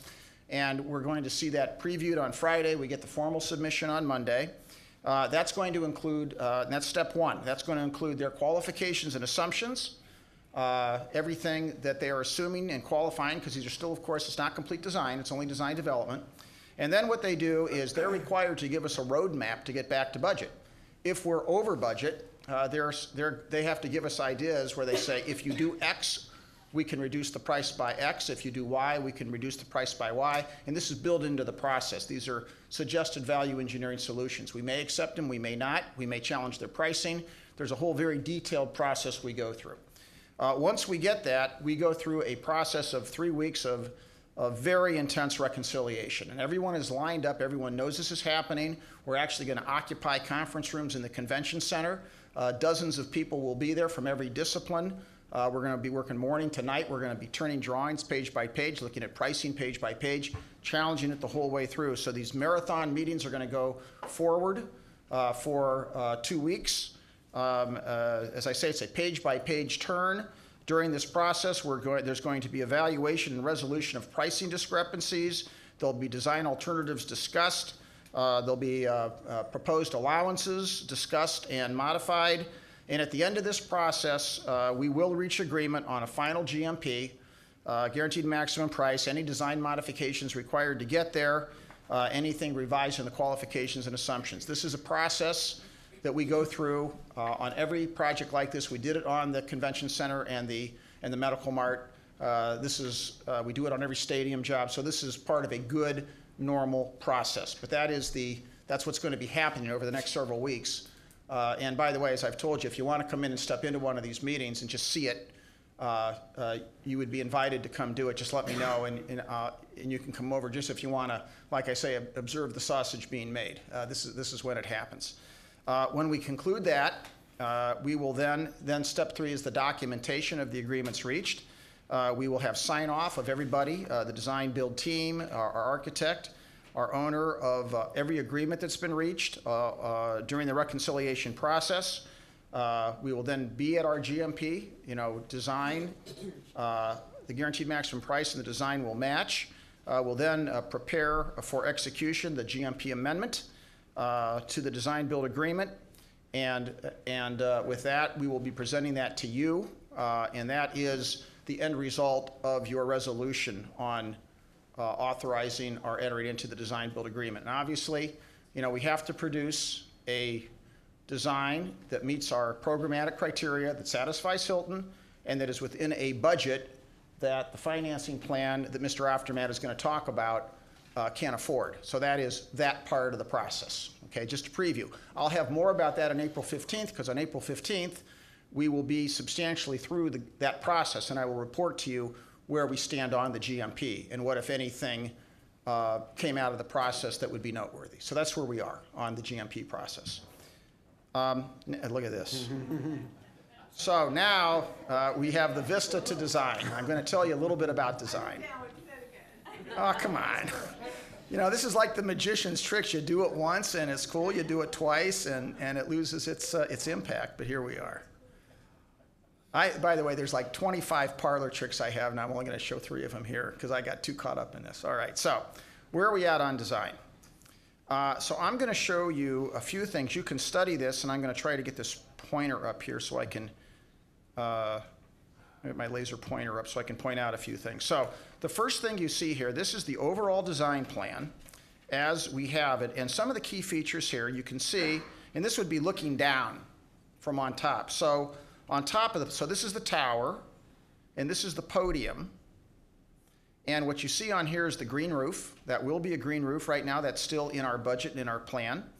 Uh, over here, this is a very interesting space out here. So this is the northeast corner, right there, uh, which is outside of the uh, tower, and that's going to be, uh, in essence, uh, what we're terming a Zen garden.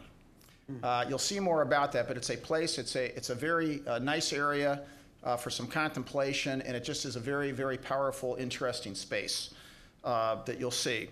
Um, the restaurant entrance is right here, and you're at, there's actually going to ultimately, you don't see it yet, there'll be a canopy that takes you out from the drive to the restaurant entrance.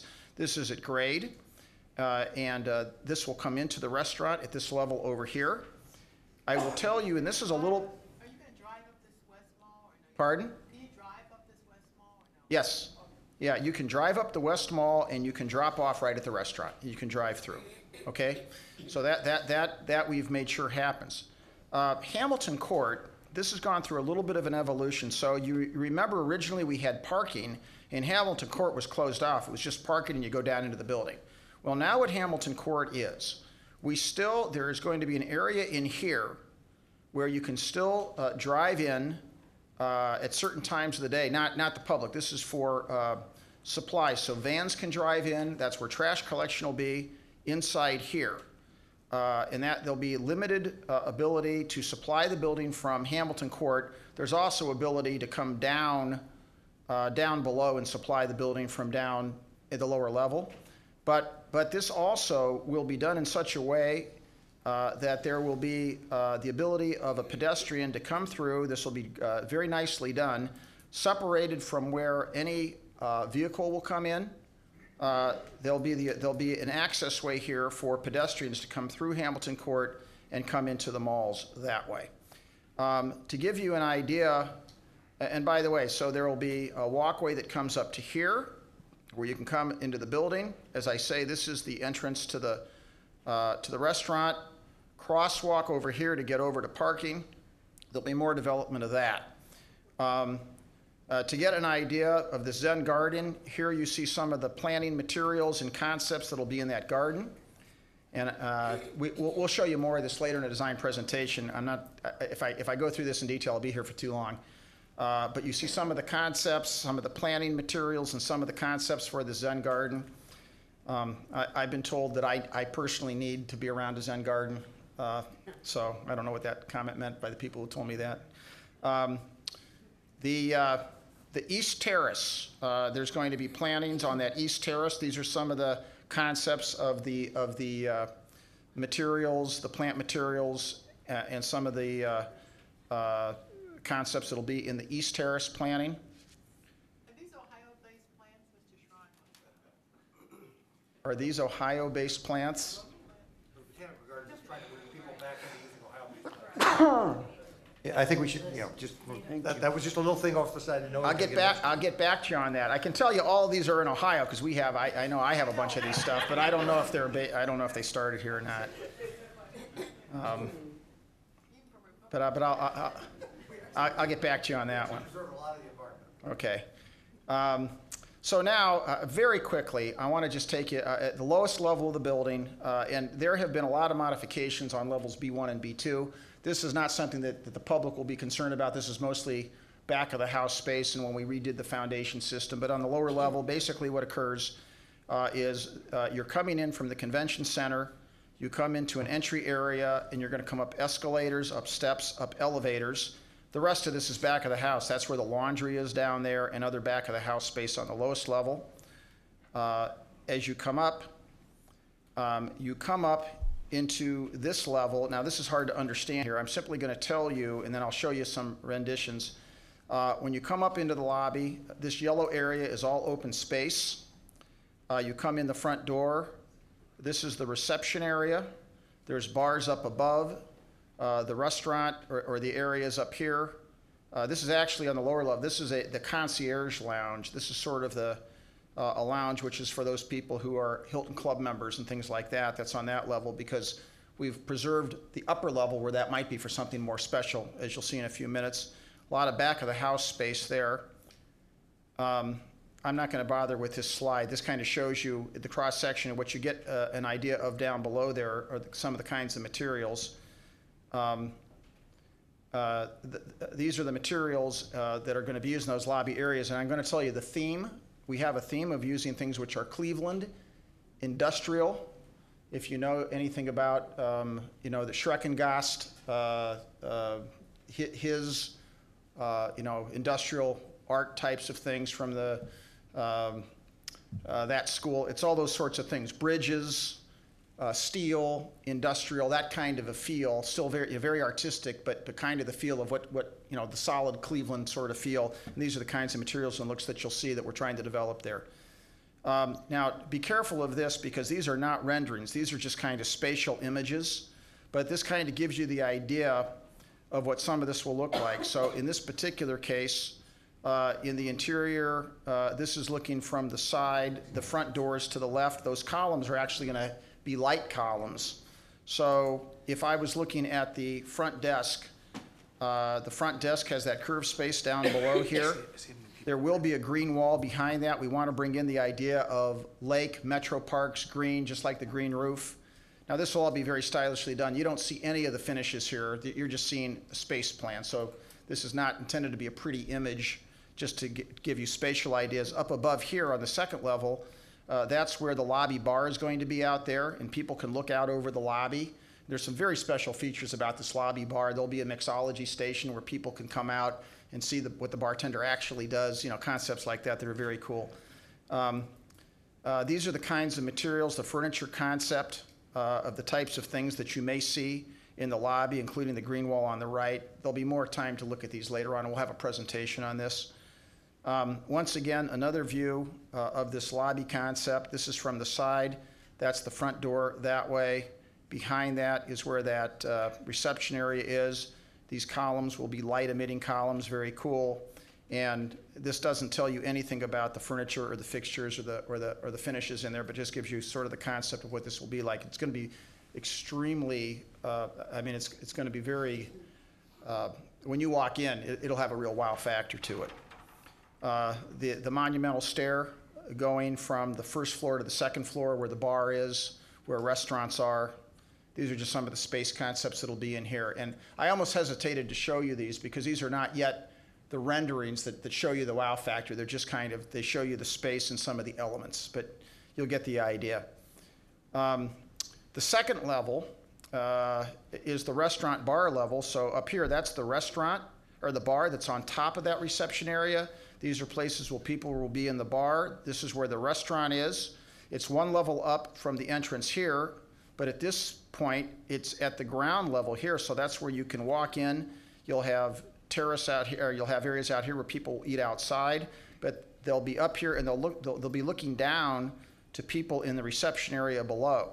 So this is, and this is all open space. This white space is all open space to what's happening in the lobby down below. And this is a lot of other functions in back of the house space. So you can have some idea of what that's going to be like. Um, uh, I'm not going to bother with this slide. Uh, the restaurant concept, uh, once again, uh, this is just a layout of the restaurant. That's going to be further developed. Some of the, uh, the, the concepts, so this is going to be sort of a, a farm to hearth type of idea, the idea of using farm, you know, uh, Ohio-based, you know, vegetables and things like that. Uh, it's really a, a great concept that we're working on with Hilton right now, but more about that later. Some of the, uh, once again, some of the concepts in terms of finishing and look of it. You see a few ideas here on the right, but that's still under development. As you go up, the next level up is the junior ballroom. We're now the third level up in the podium. Uh, this is all meeting space and ballroom space. Uh, you're going to have vistas uh, out here, light. One thing which is different. Before, this area right here where those meeting rooms are, those meeting rooms weren't there before. That was just all open to the lake. Uh, our thought was that we're going to put meeting rooms right there so you can be in a meeting room and be in a meeting room and look out at the lake. We thought that's a lot more valuable because basically this junior ballroom is generally closed anyway. So we have better meeting room space. It's a more efficient use of space. You still have these light views here, here, here, and it's a very efficient space on the third level. Uh, that's the junior ballroom level. Go up one more level. Now this is the grand ballroom, which will be uh, the second largest ballroom in Cleveland, other than the, the, ballroom in the convention center. And you can see it's divi divisible in many ways. And once again, we have meeting rooms here that you look out at the lake. So this is the, these are the two meeting room levels on the podium. Um, as we continue up, now we're starting to see the tower. And one of the very cool features here, the sixth floor, which is the, the first floor of the tower above the podium, this is also the recreation level. So here, this is going to be pretty dramatic. Uh, we have the gym, uh, uh, physical fitness area, that's going to overlook the mall that way.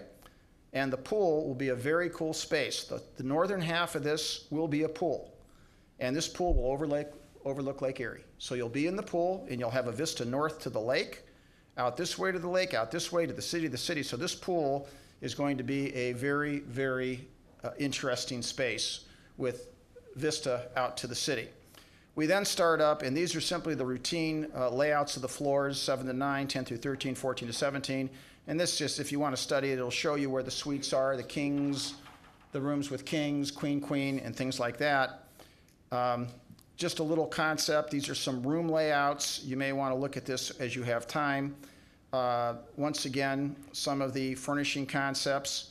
One of the things that we think we're going to do is as a backdrop here, uh, behind the beds, we'll have things, or on the walls, we'll have things like this, which would be a map, sort of a layout map of Cleveland or Cuyahoga County, some historical stuff, some really interesting uh, things like that that will be in these in these rooms. And there'll be there'll be a presentation on interiors later on. I'm just giving you an idea. Pardon? Uh, we could. Do you like them all? Yeah. All right. If you like them all, okay.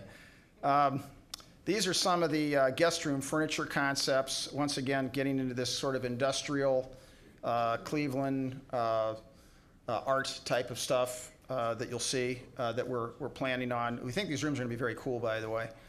Um, we are also going to, because of the influence of the, the global, our, our Global Center for Health Innovation, we are going to have some what we refer to as healthy guest rooms. We're going to have some rooms.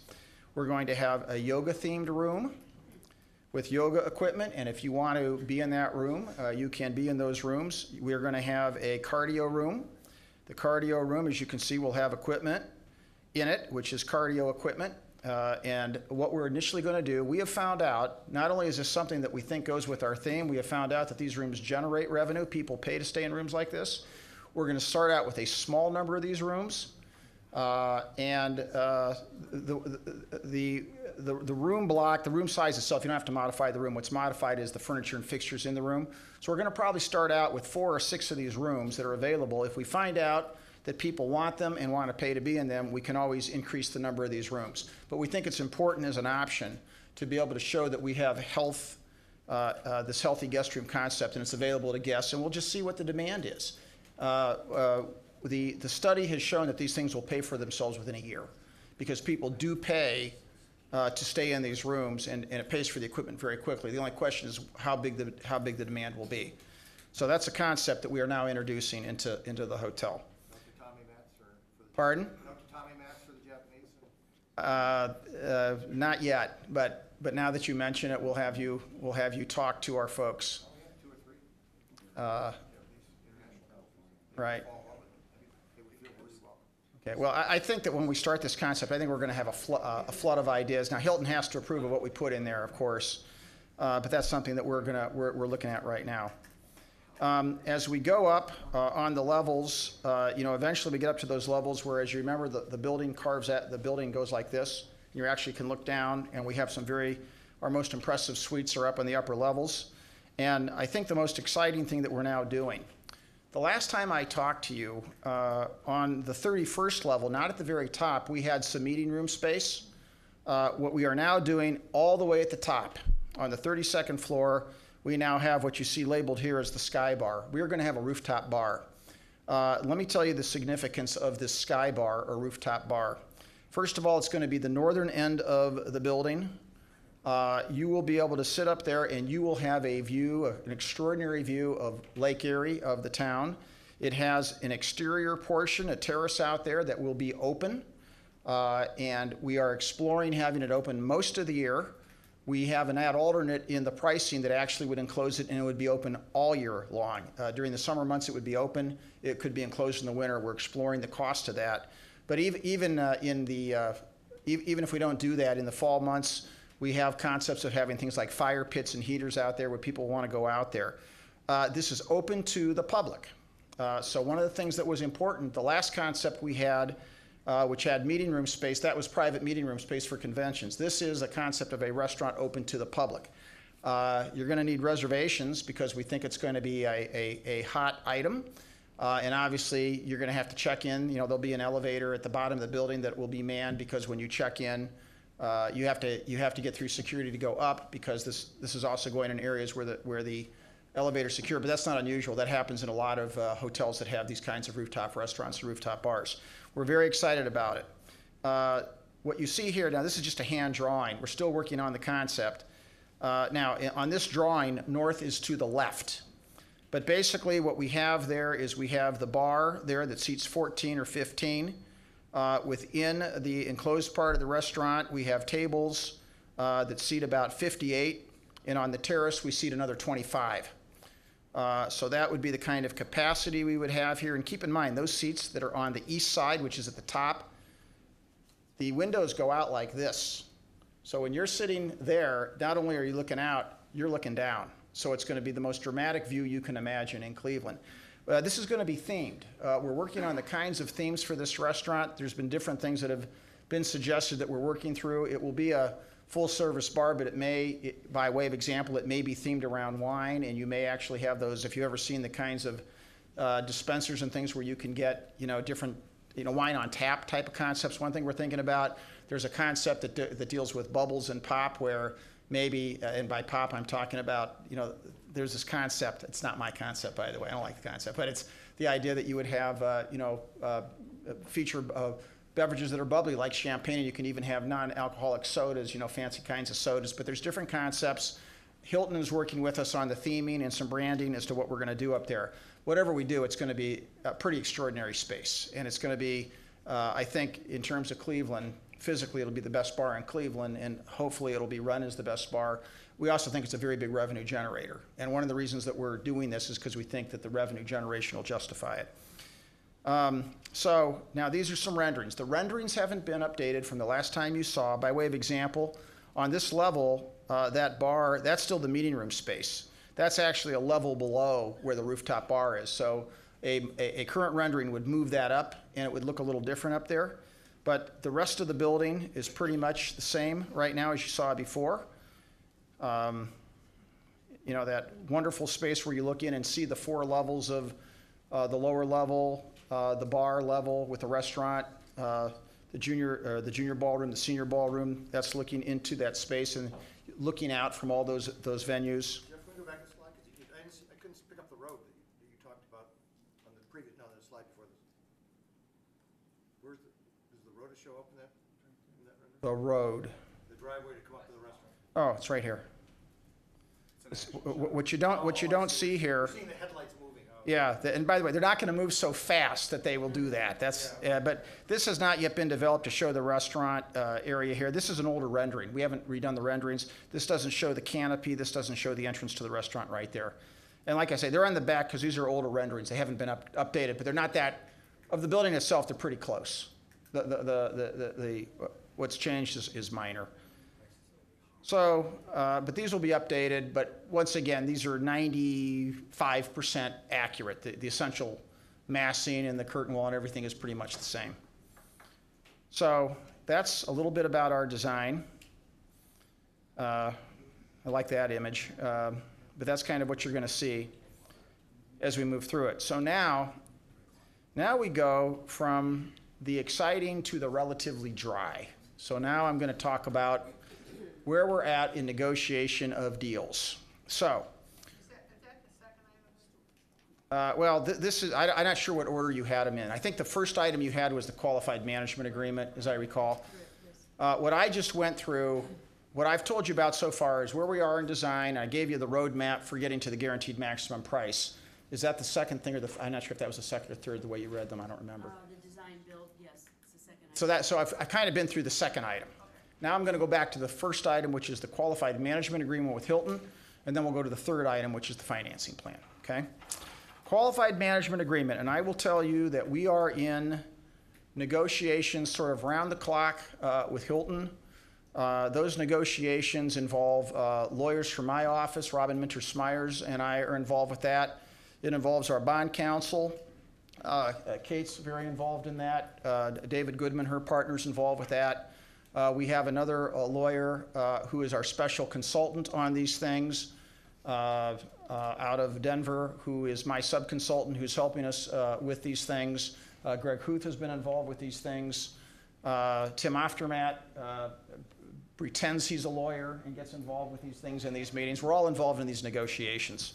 So, and, and these are, there's some very tough issues because um, some of these issues involve uh, very uh, legal issues, you know, the extent to which, how, how, you know, if a county can't formally indemnify, how does a county protect Hilton's interests? How do they protect our interests? And these are, these are legal issues that are very in-depth uh, and they're of great interest to the lawyers uh, and very important, but um, they, uh, you would you would fall asleep uh, if you got into them. A lot of tax implications and things like that. But let me tell you the essence of where we are right now. Oh, this is something I didn't tell you yet, and I should have told you. Um, the name of the hotel has been agreed upon. Uh, or we have agreed with Hilton as to the name of the hotel that they insist upon. Uh, but, uh, pardon? No, that was not, that wasn't even on the list, as I recall.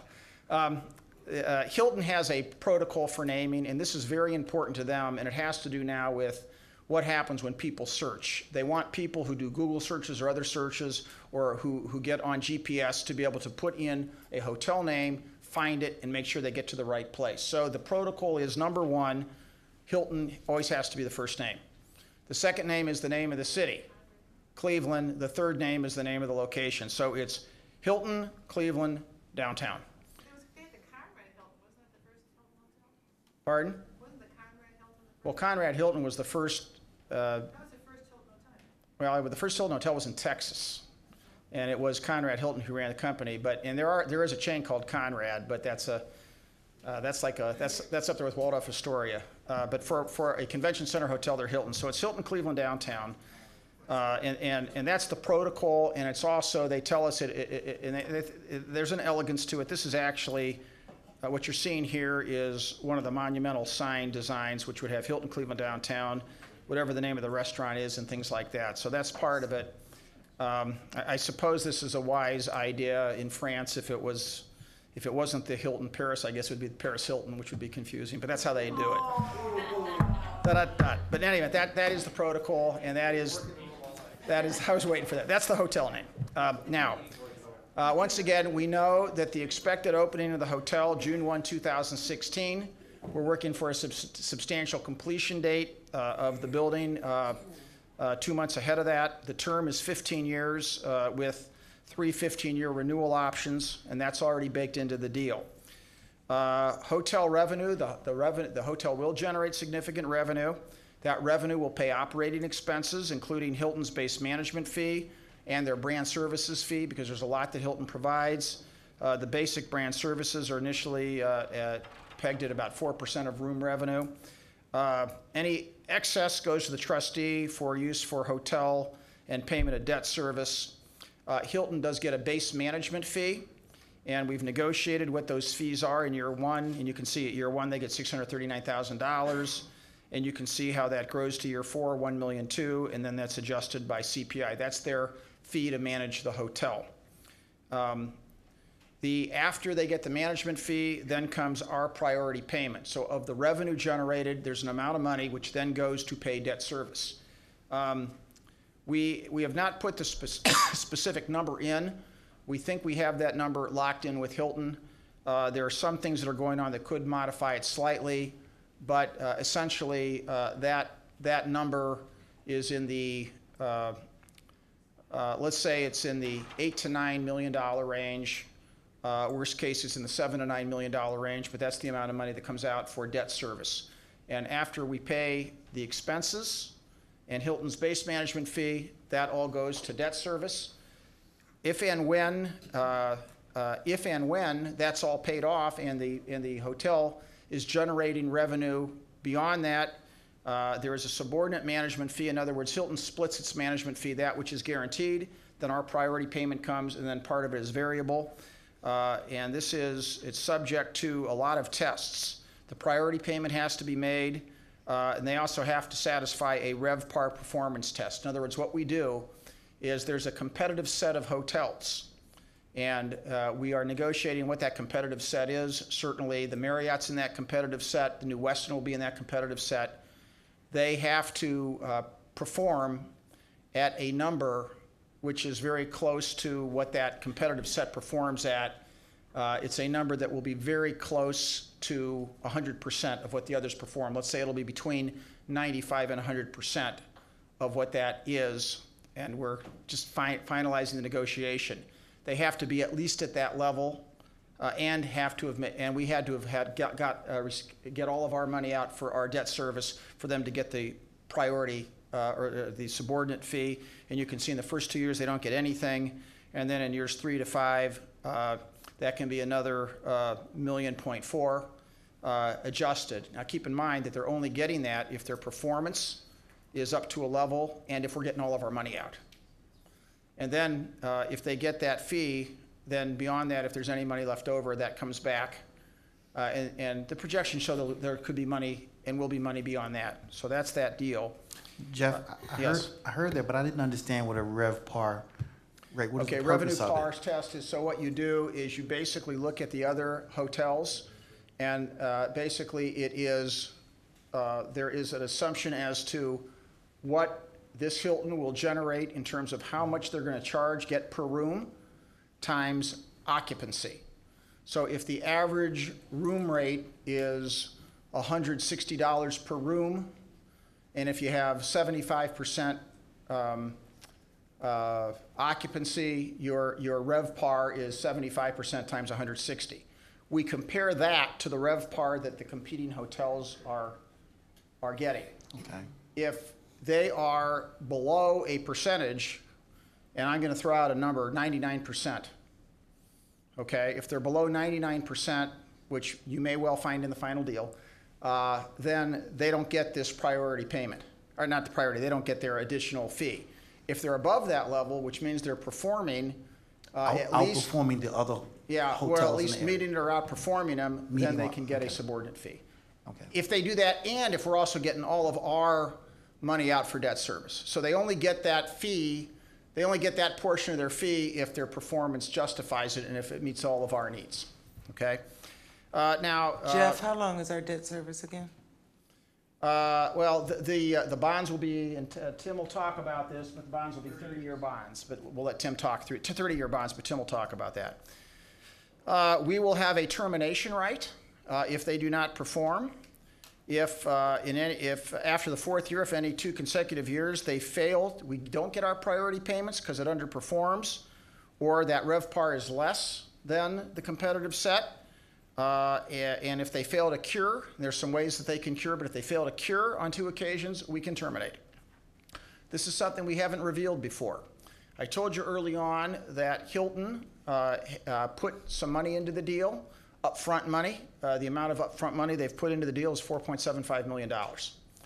That is their commitment, because they understand that for us to build it, uh, you know, to have the, the, the, the money to develop it, uh, we're looking at different sources of revenue. So uh, they believe that the deal on the back end justifies the investment, so their front end investment is $4.75 million. And I will tell you that that is, uh, if you look at comparative deals right now, that's a hefty investment. Uh, Hilton didn't start out near that. They believe in this project. So their commitment to put in four, almost $5 million should tell you about their belief in, in this project. Uh, there- There's also a guarantee uh, from their parent, uh, Hilton Worldwide. Now, there's a lot more uh, going on uh, with that agreement, but those are some of the fundamentals. There's a series of ancillary agreements we're also negotiating with them. There's uh, simply a technical services agreement. They've been giving us, they're, they come to every meeting, they're involved, they've been involved nonstop in this. We talk to Hilton every day. We were with them for a few hours today at our regular weekly meeting. Uh, So uh, they've agreed to a technical services agreement where they provide all that. They've, they've agreed, however, to deferred compensation. It's a $250,000 fee, but it's contingent on our getting this deal done. If we don't get this deal done, they have actually committed probably, I don't know, already half of that already uh, without any guarantee. Uh, There's a pre-opening services agreement. Uh, As we get into operations, there's a lot of things that out of the debts, out of the debt service that we have to take care of.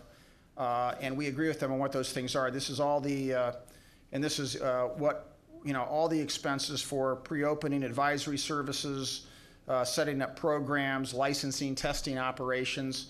And there's simply an agreement that says what, what we, what they say we, has to be provided, what we agree to provide, and how that's funded. But that's all part of the operational cost, excuse me.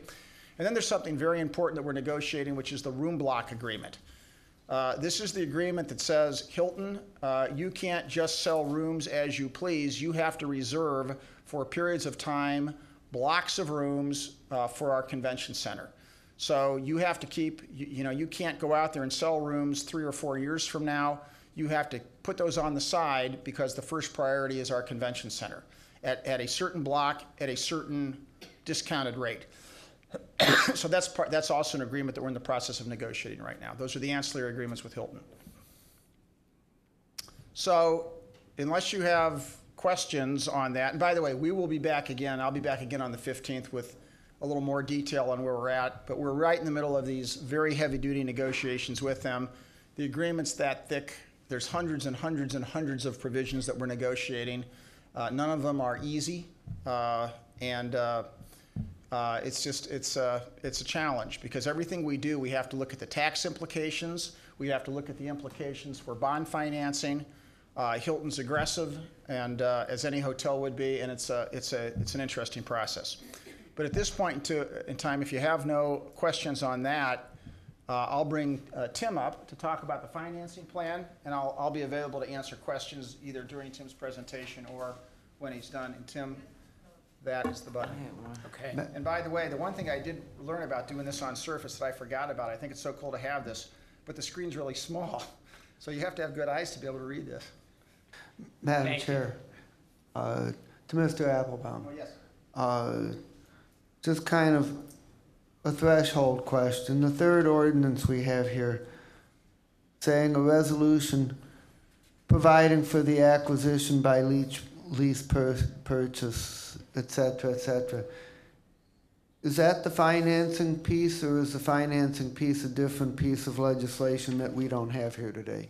Uh, Well, that's involved, that's involved with it. Uh, uh, There's more, there's, there's also, that is the financing piece. Uh, There's also, and I think you should make mention of also the cooperative agreement and how that fits in. But yes, that is the financing piece. Tim can explain, he'll explain that as he goes through his, his slides. Madam? I just had a quite, a more of a design question, and, and so I, I noticed that you mentioned that, that in the design of the hotel, that the ballroom will be the second largest, other than that, to which is in the convention center Yes. itself. If, if, if the intent, as I understand this hotel, is to supplement mm-hmm. and to, or I shouldn't say supplement, to complement the convention center, why would we com- be competing against ourselves for facilities? Why wouldn't we want to direct hotel guests into our own convention center space? Well, that's what the room block agreement does. But keep in mind, the reason that you have, uh, the, the reason that these survive this way, I think we went through this before. In your, in your hotel, uh, when you have a major event, you have a few days of setup, then you may have three days of convention, then you have two days of breakdown. While that's going on, so you can only actually have active conventions during that middle period. The way it works with your convention center hotel, um, you want people to be in the hotel all the time. So the way it works is while you reserve time in the hotel to support your conventions, on those days when you're not running your convention center, uh, you're not using your large ballroom, they're using their ballroom. So what happens is when theirs is up, yours ideally is setting up for the next meeting, uh, and, and they work in tandem. So, and what has happened, the experience has been, there have been convention centers where the convention center hotel said, we'll just rely on the, on the ballroom in the convention center, we won't do our own ballroom. And they've found that that has been actually a formula for underperformance because what happens is they can't, they can't keep the flow of guests going, they can't keep the revenue up. Ideally, they work together, and that's part of the marketing strategy. Okay, thank you. Thanks, Jeff. Uh, Madam President, members of council, uh, I'm Tim Offtermatt. Nice to be with you again. Uh, I'm a managing director here in town with Stifel Nicolaus. County has appointed us to be the senior manager for the financing for the hotel project. Um, This thing isn't going to have crinkly things No, or I- curtains or... I, I made, just so you, know, I made this very plain so that by comparison to me, you look very plain, so it's very Thank, plain. thank you very little. Um,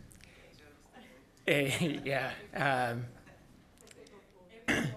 the, uh, uh, the the financing generally uh, is meant to uh, be constrained by the, if you will, the uh, the financing components of the convention center project that were originally put in place in 2007.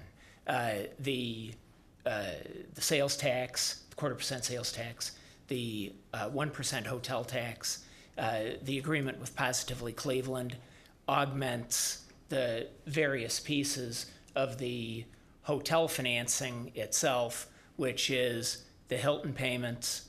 Uh, you, I suspect you've heard some of this stuff before. Uh, the hotel, the city and county hotel taxes themselves that are levied on every hotel property uh, in the city or the county respectively are recycled into this particular building to pay debt service. Uh, The building is, the, the property is also TIFed, if you will, uh, uh, as many other properties in the county are TIFed. Uh, And there are specific arrangements uh, with the city that uh, are put in place to facilitate the TIF.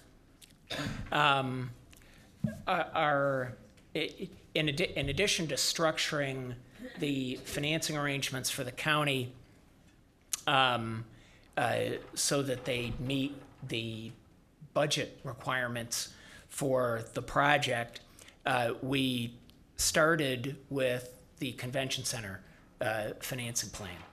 Uh, uh, I was the senior managing bond underwriter on that too, and spent a lot of time with county representatives assembling those financing plans. Uh, I'd like to say we were brilliant, but we were lucky uh, primarily in that, uh, if you recall back uh, in 2010, at the time that the county did those financing arrangements, there was uh, uh, in place at the time the federal support of the Recovery Act, um, which provided for significant federal subsidy or or the ability to access tax exempt rates instead of taxable uh, bond rates for financing the hotel, coupled with uh, a few other things uh, that uh, I'll chalk up to some good work as well as some luck, conservative financing projections,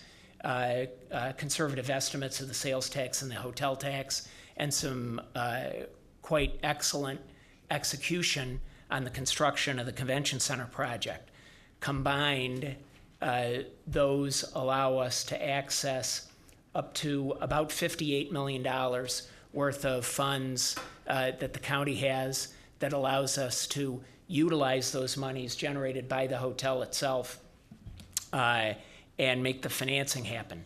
Some of these monies, I should note, at least our current plan, is that they would be recycled yet again for some reserve funds uh, and used in case for uh, construction contingencies or possibly for uh, uh, contingencies on collection of future revenues.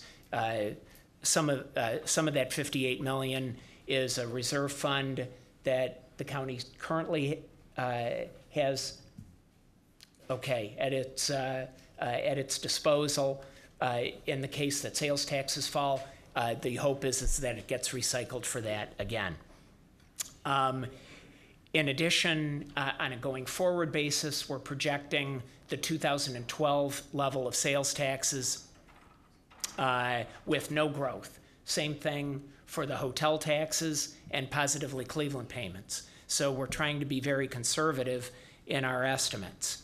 Um, the way the hotel revenues themselves are structured and how they work in the in the bond plan is very similar to any number of these kinds of projects around the country. Uh, the net operating income from the hotel operator, Jeff mentioned that that would perhaps range from eight to nine million dollars a year.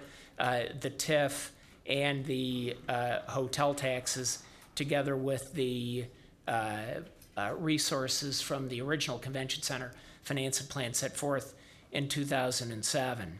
Uh, looking at a potential stabilized year from the hotel, now this brings into play more of an omnibus uh, pro forma that uh, uh, that incorporates the sales tax and hotel tax, but also the revenue trade-offs back and forth from the convention center, the CCC, FDC uh, uh, entity, as well as the hotel funds both the debt service for the convention center uh, and global center, and also for the hotel project. The the goal, particularly during the years that the quarter percent sales tax remains outstanding, is to generate revenue at the bottom line, so there is revenue available every year for capital for a capital repair fund for both the uh, convention center and the hotel.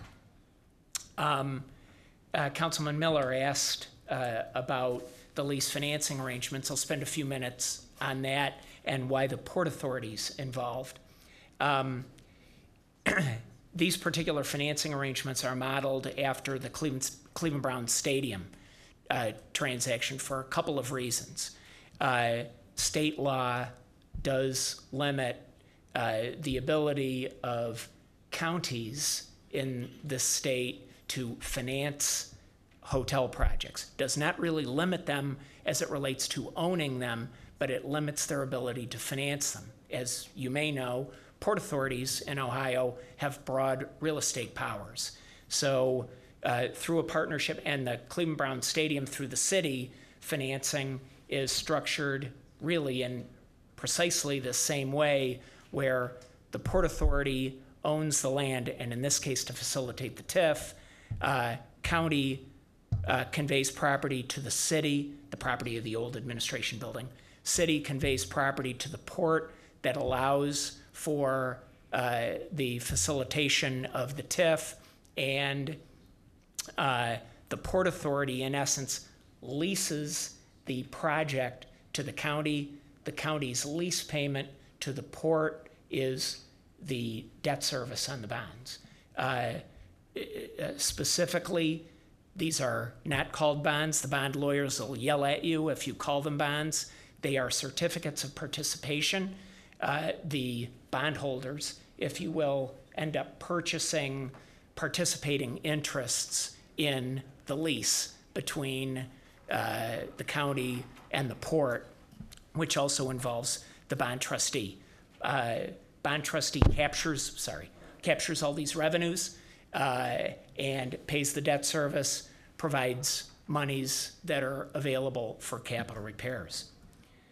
Um, uh, the uh, financing mechanism of certificates of participation differs a little bit from what you typically see uh, in Ohio local governments.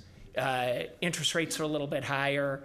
Uh, these don't count against your statutory debt limitations, uh, um, but they're very, very popular among local government bond investors. County is seeing the rating agencies next week, uh, and the county schedule currently calls for uh, these certificates to be issued sometime the week of April 21st. Uh, and as Jeff mentioned earlier, the more specific bond sources and uses of funds will be presented uh, at the April 15th meeting when we have some answers from uh, Hilton and Turner. I- want to make one comment about that. Um, We have spent a lot of time developing sources and uses. I was asked the last time I was here the question about contingency.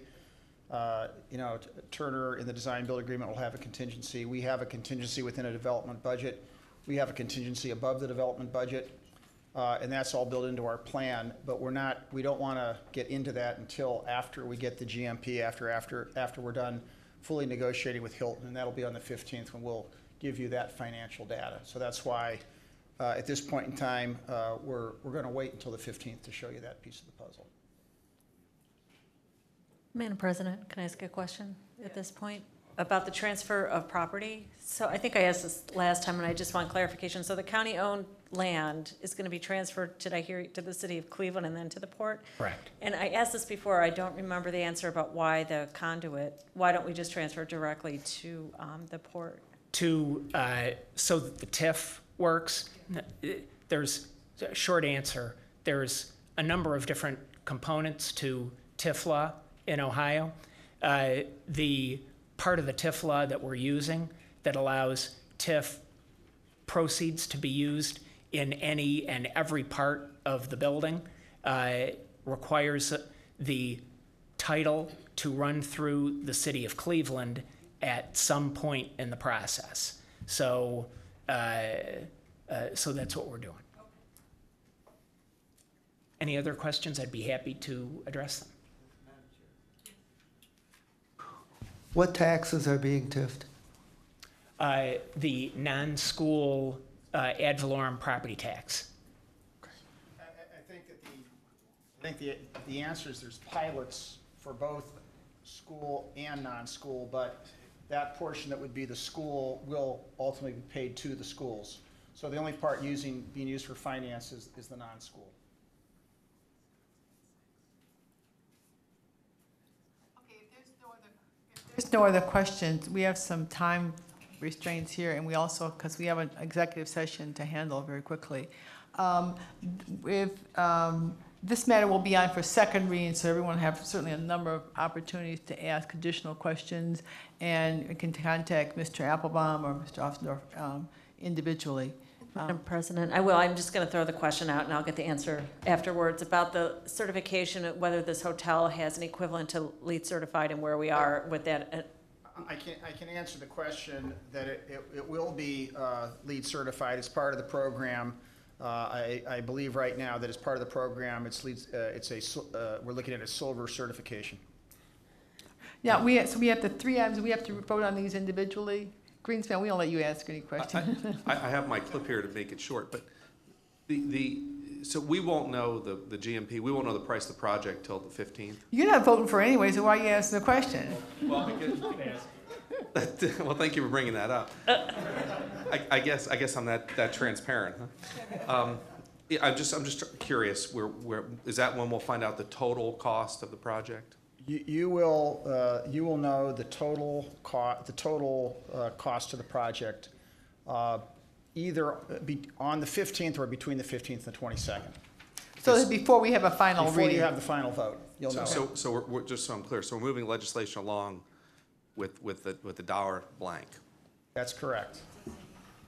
Okay. Okay, um, I think we have to take these individually, uh, Ms. Schmutzer? Does it I matter? would recommend it. You- I mean, you're taking it out of committee and bringing it back. All right, to so we can committee. vote for all three to go out of committee. All right. Uh, is there, is there a motion, take it out of committee and moving on for a second reading? Sure. By Ms. mo- Moved by Mr. Germana and seconded by Ms. Conwell. All those in favor of moving these three items to the regular agenda for second reading indicate by saying aye. Aye. Opposed? Um, opposed, uh, Mr. Greenspan is no, so we have, uh, eleven, I mean, ten yeses. Um, all right, we have an executive session, um, that will be fairly quick, so I'd like as many probably people to stop, to stay for this. All meetings of the Cuyahoga County Council are open to the public under the Ohio Open Meetings Law. Under that law, council may go into Madam executive. President? Yes. Before you uh, proceed into executive session, Yeah. I had an item on miscellaneous business. Could I do that? Yeah, could you do it very quickly, because we really have some time restraints, Mr. Miller? Uh, Madam President, at yesterday's Finance and Budget Committee, we had a discussion of the fact that the county recorded negative investment earnings in 2013. And after further clarification from the fiscal office, I want to make a few points. Number You, you one. sent this all out in emails, Mr. Miller, to everyone. Okay. All right. Let, let's go ahead with the executive session. All members, all meetings of the Cuyahoga County Council, council are open to the public under the open meeting law. Under that law, council may go into executive session during a meeting for specialized, specifically authorized purposes. During executive session, council confers outside the hearing of the public. Council may not make any decisions about any matters in executive session. All decisions are made in public. This afternoon, council will go into executive session regarding discussions of pending litigation. Um, During this time, our live stream will be down, and we will ask all those specifically uh, not needed uh, in executive session to leave council chambers. Anyone may enter afterwards. Is there a motion to go into executive session? Move- Moved by Mr. Germana and seconded by Ms. Simon. Please call the roll.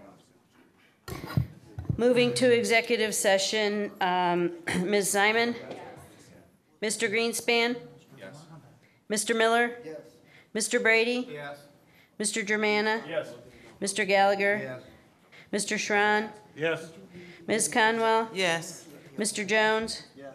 Mr. Hairston? Mr. Hairston stepped out for the moment, uh, and Ms. Connally? Yes. All right, let the record reflect the time is 4:30.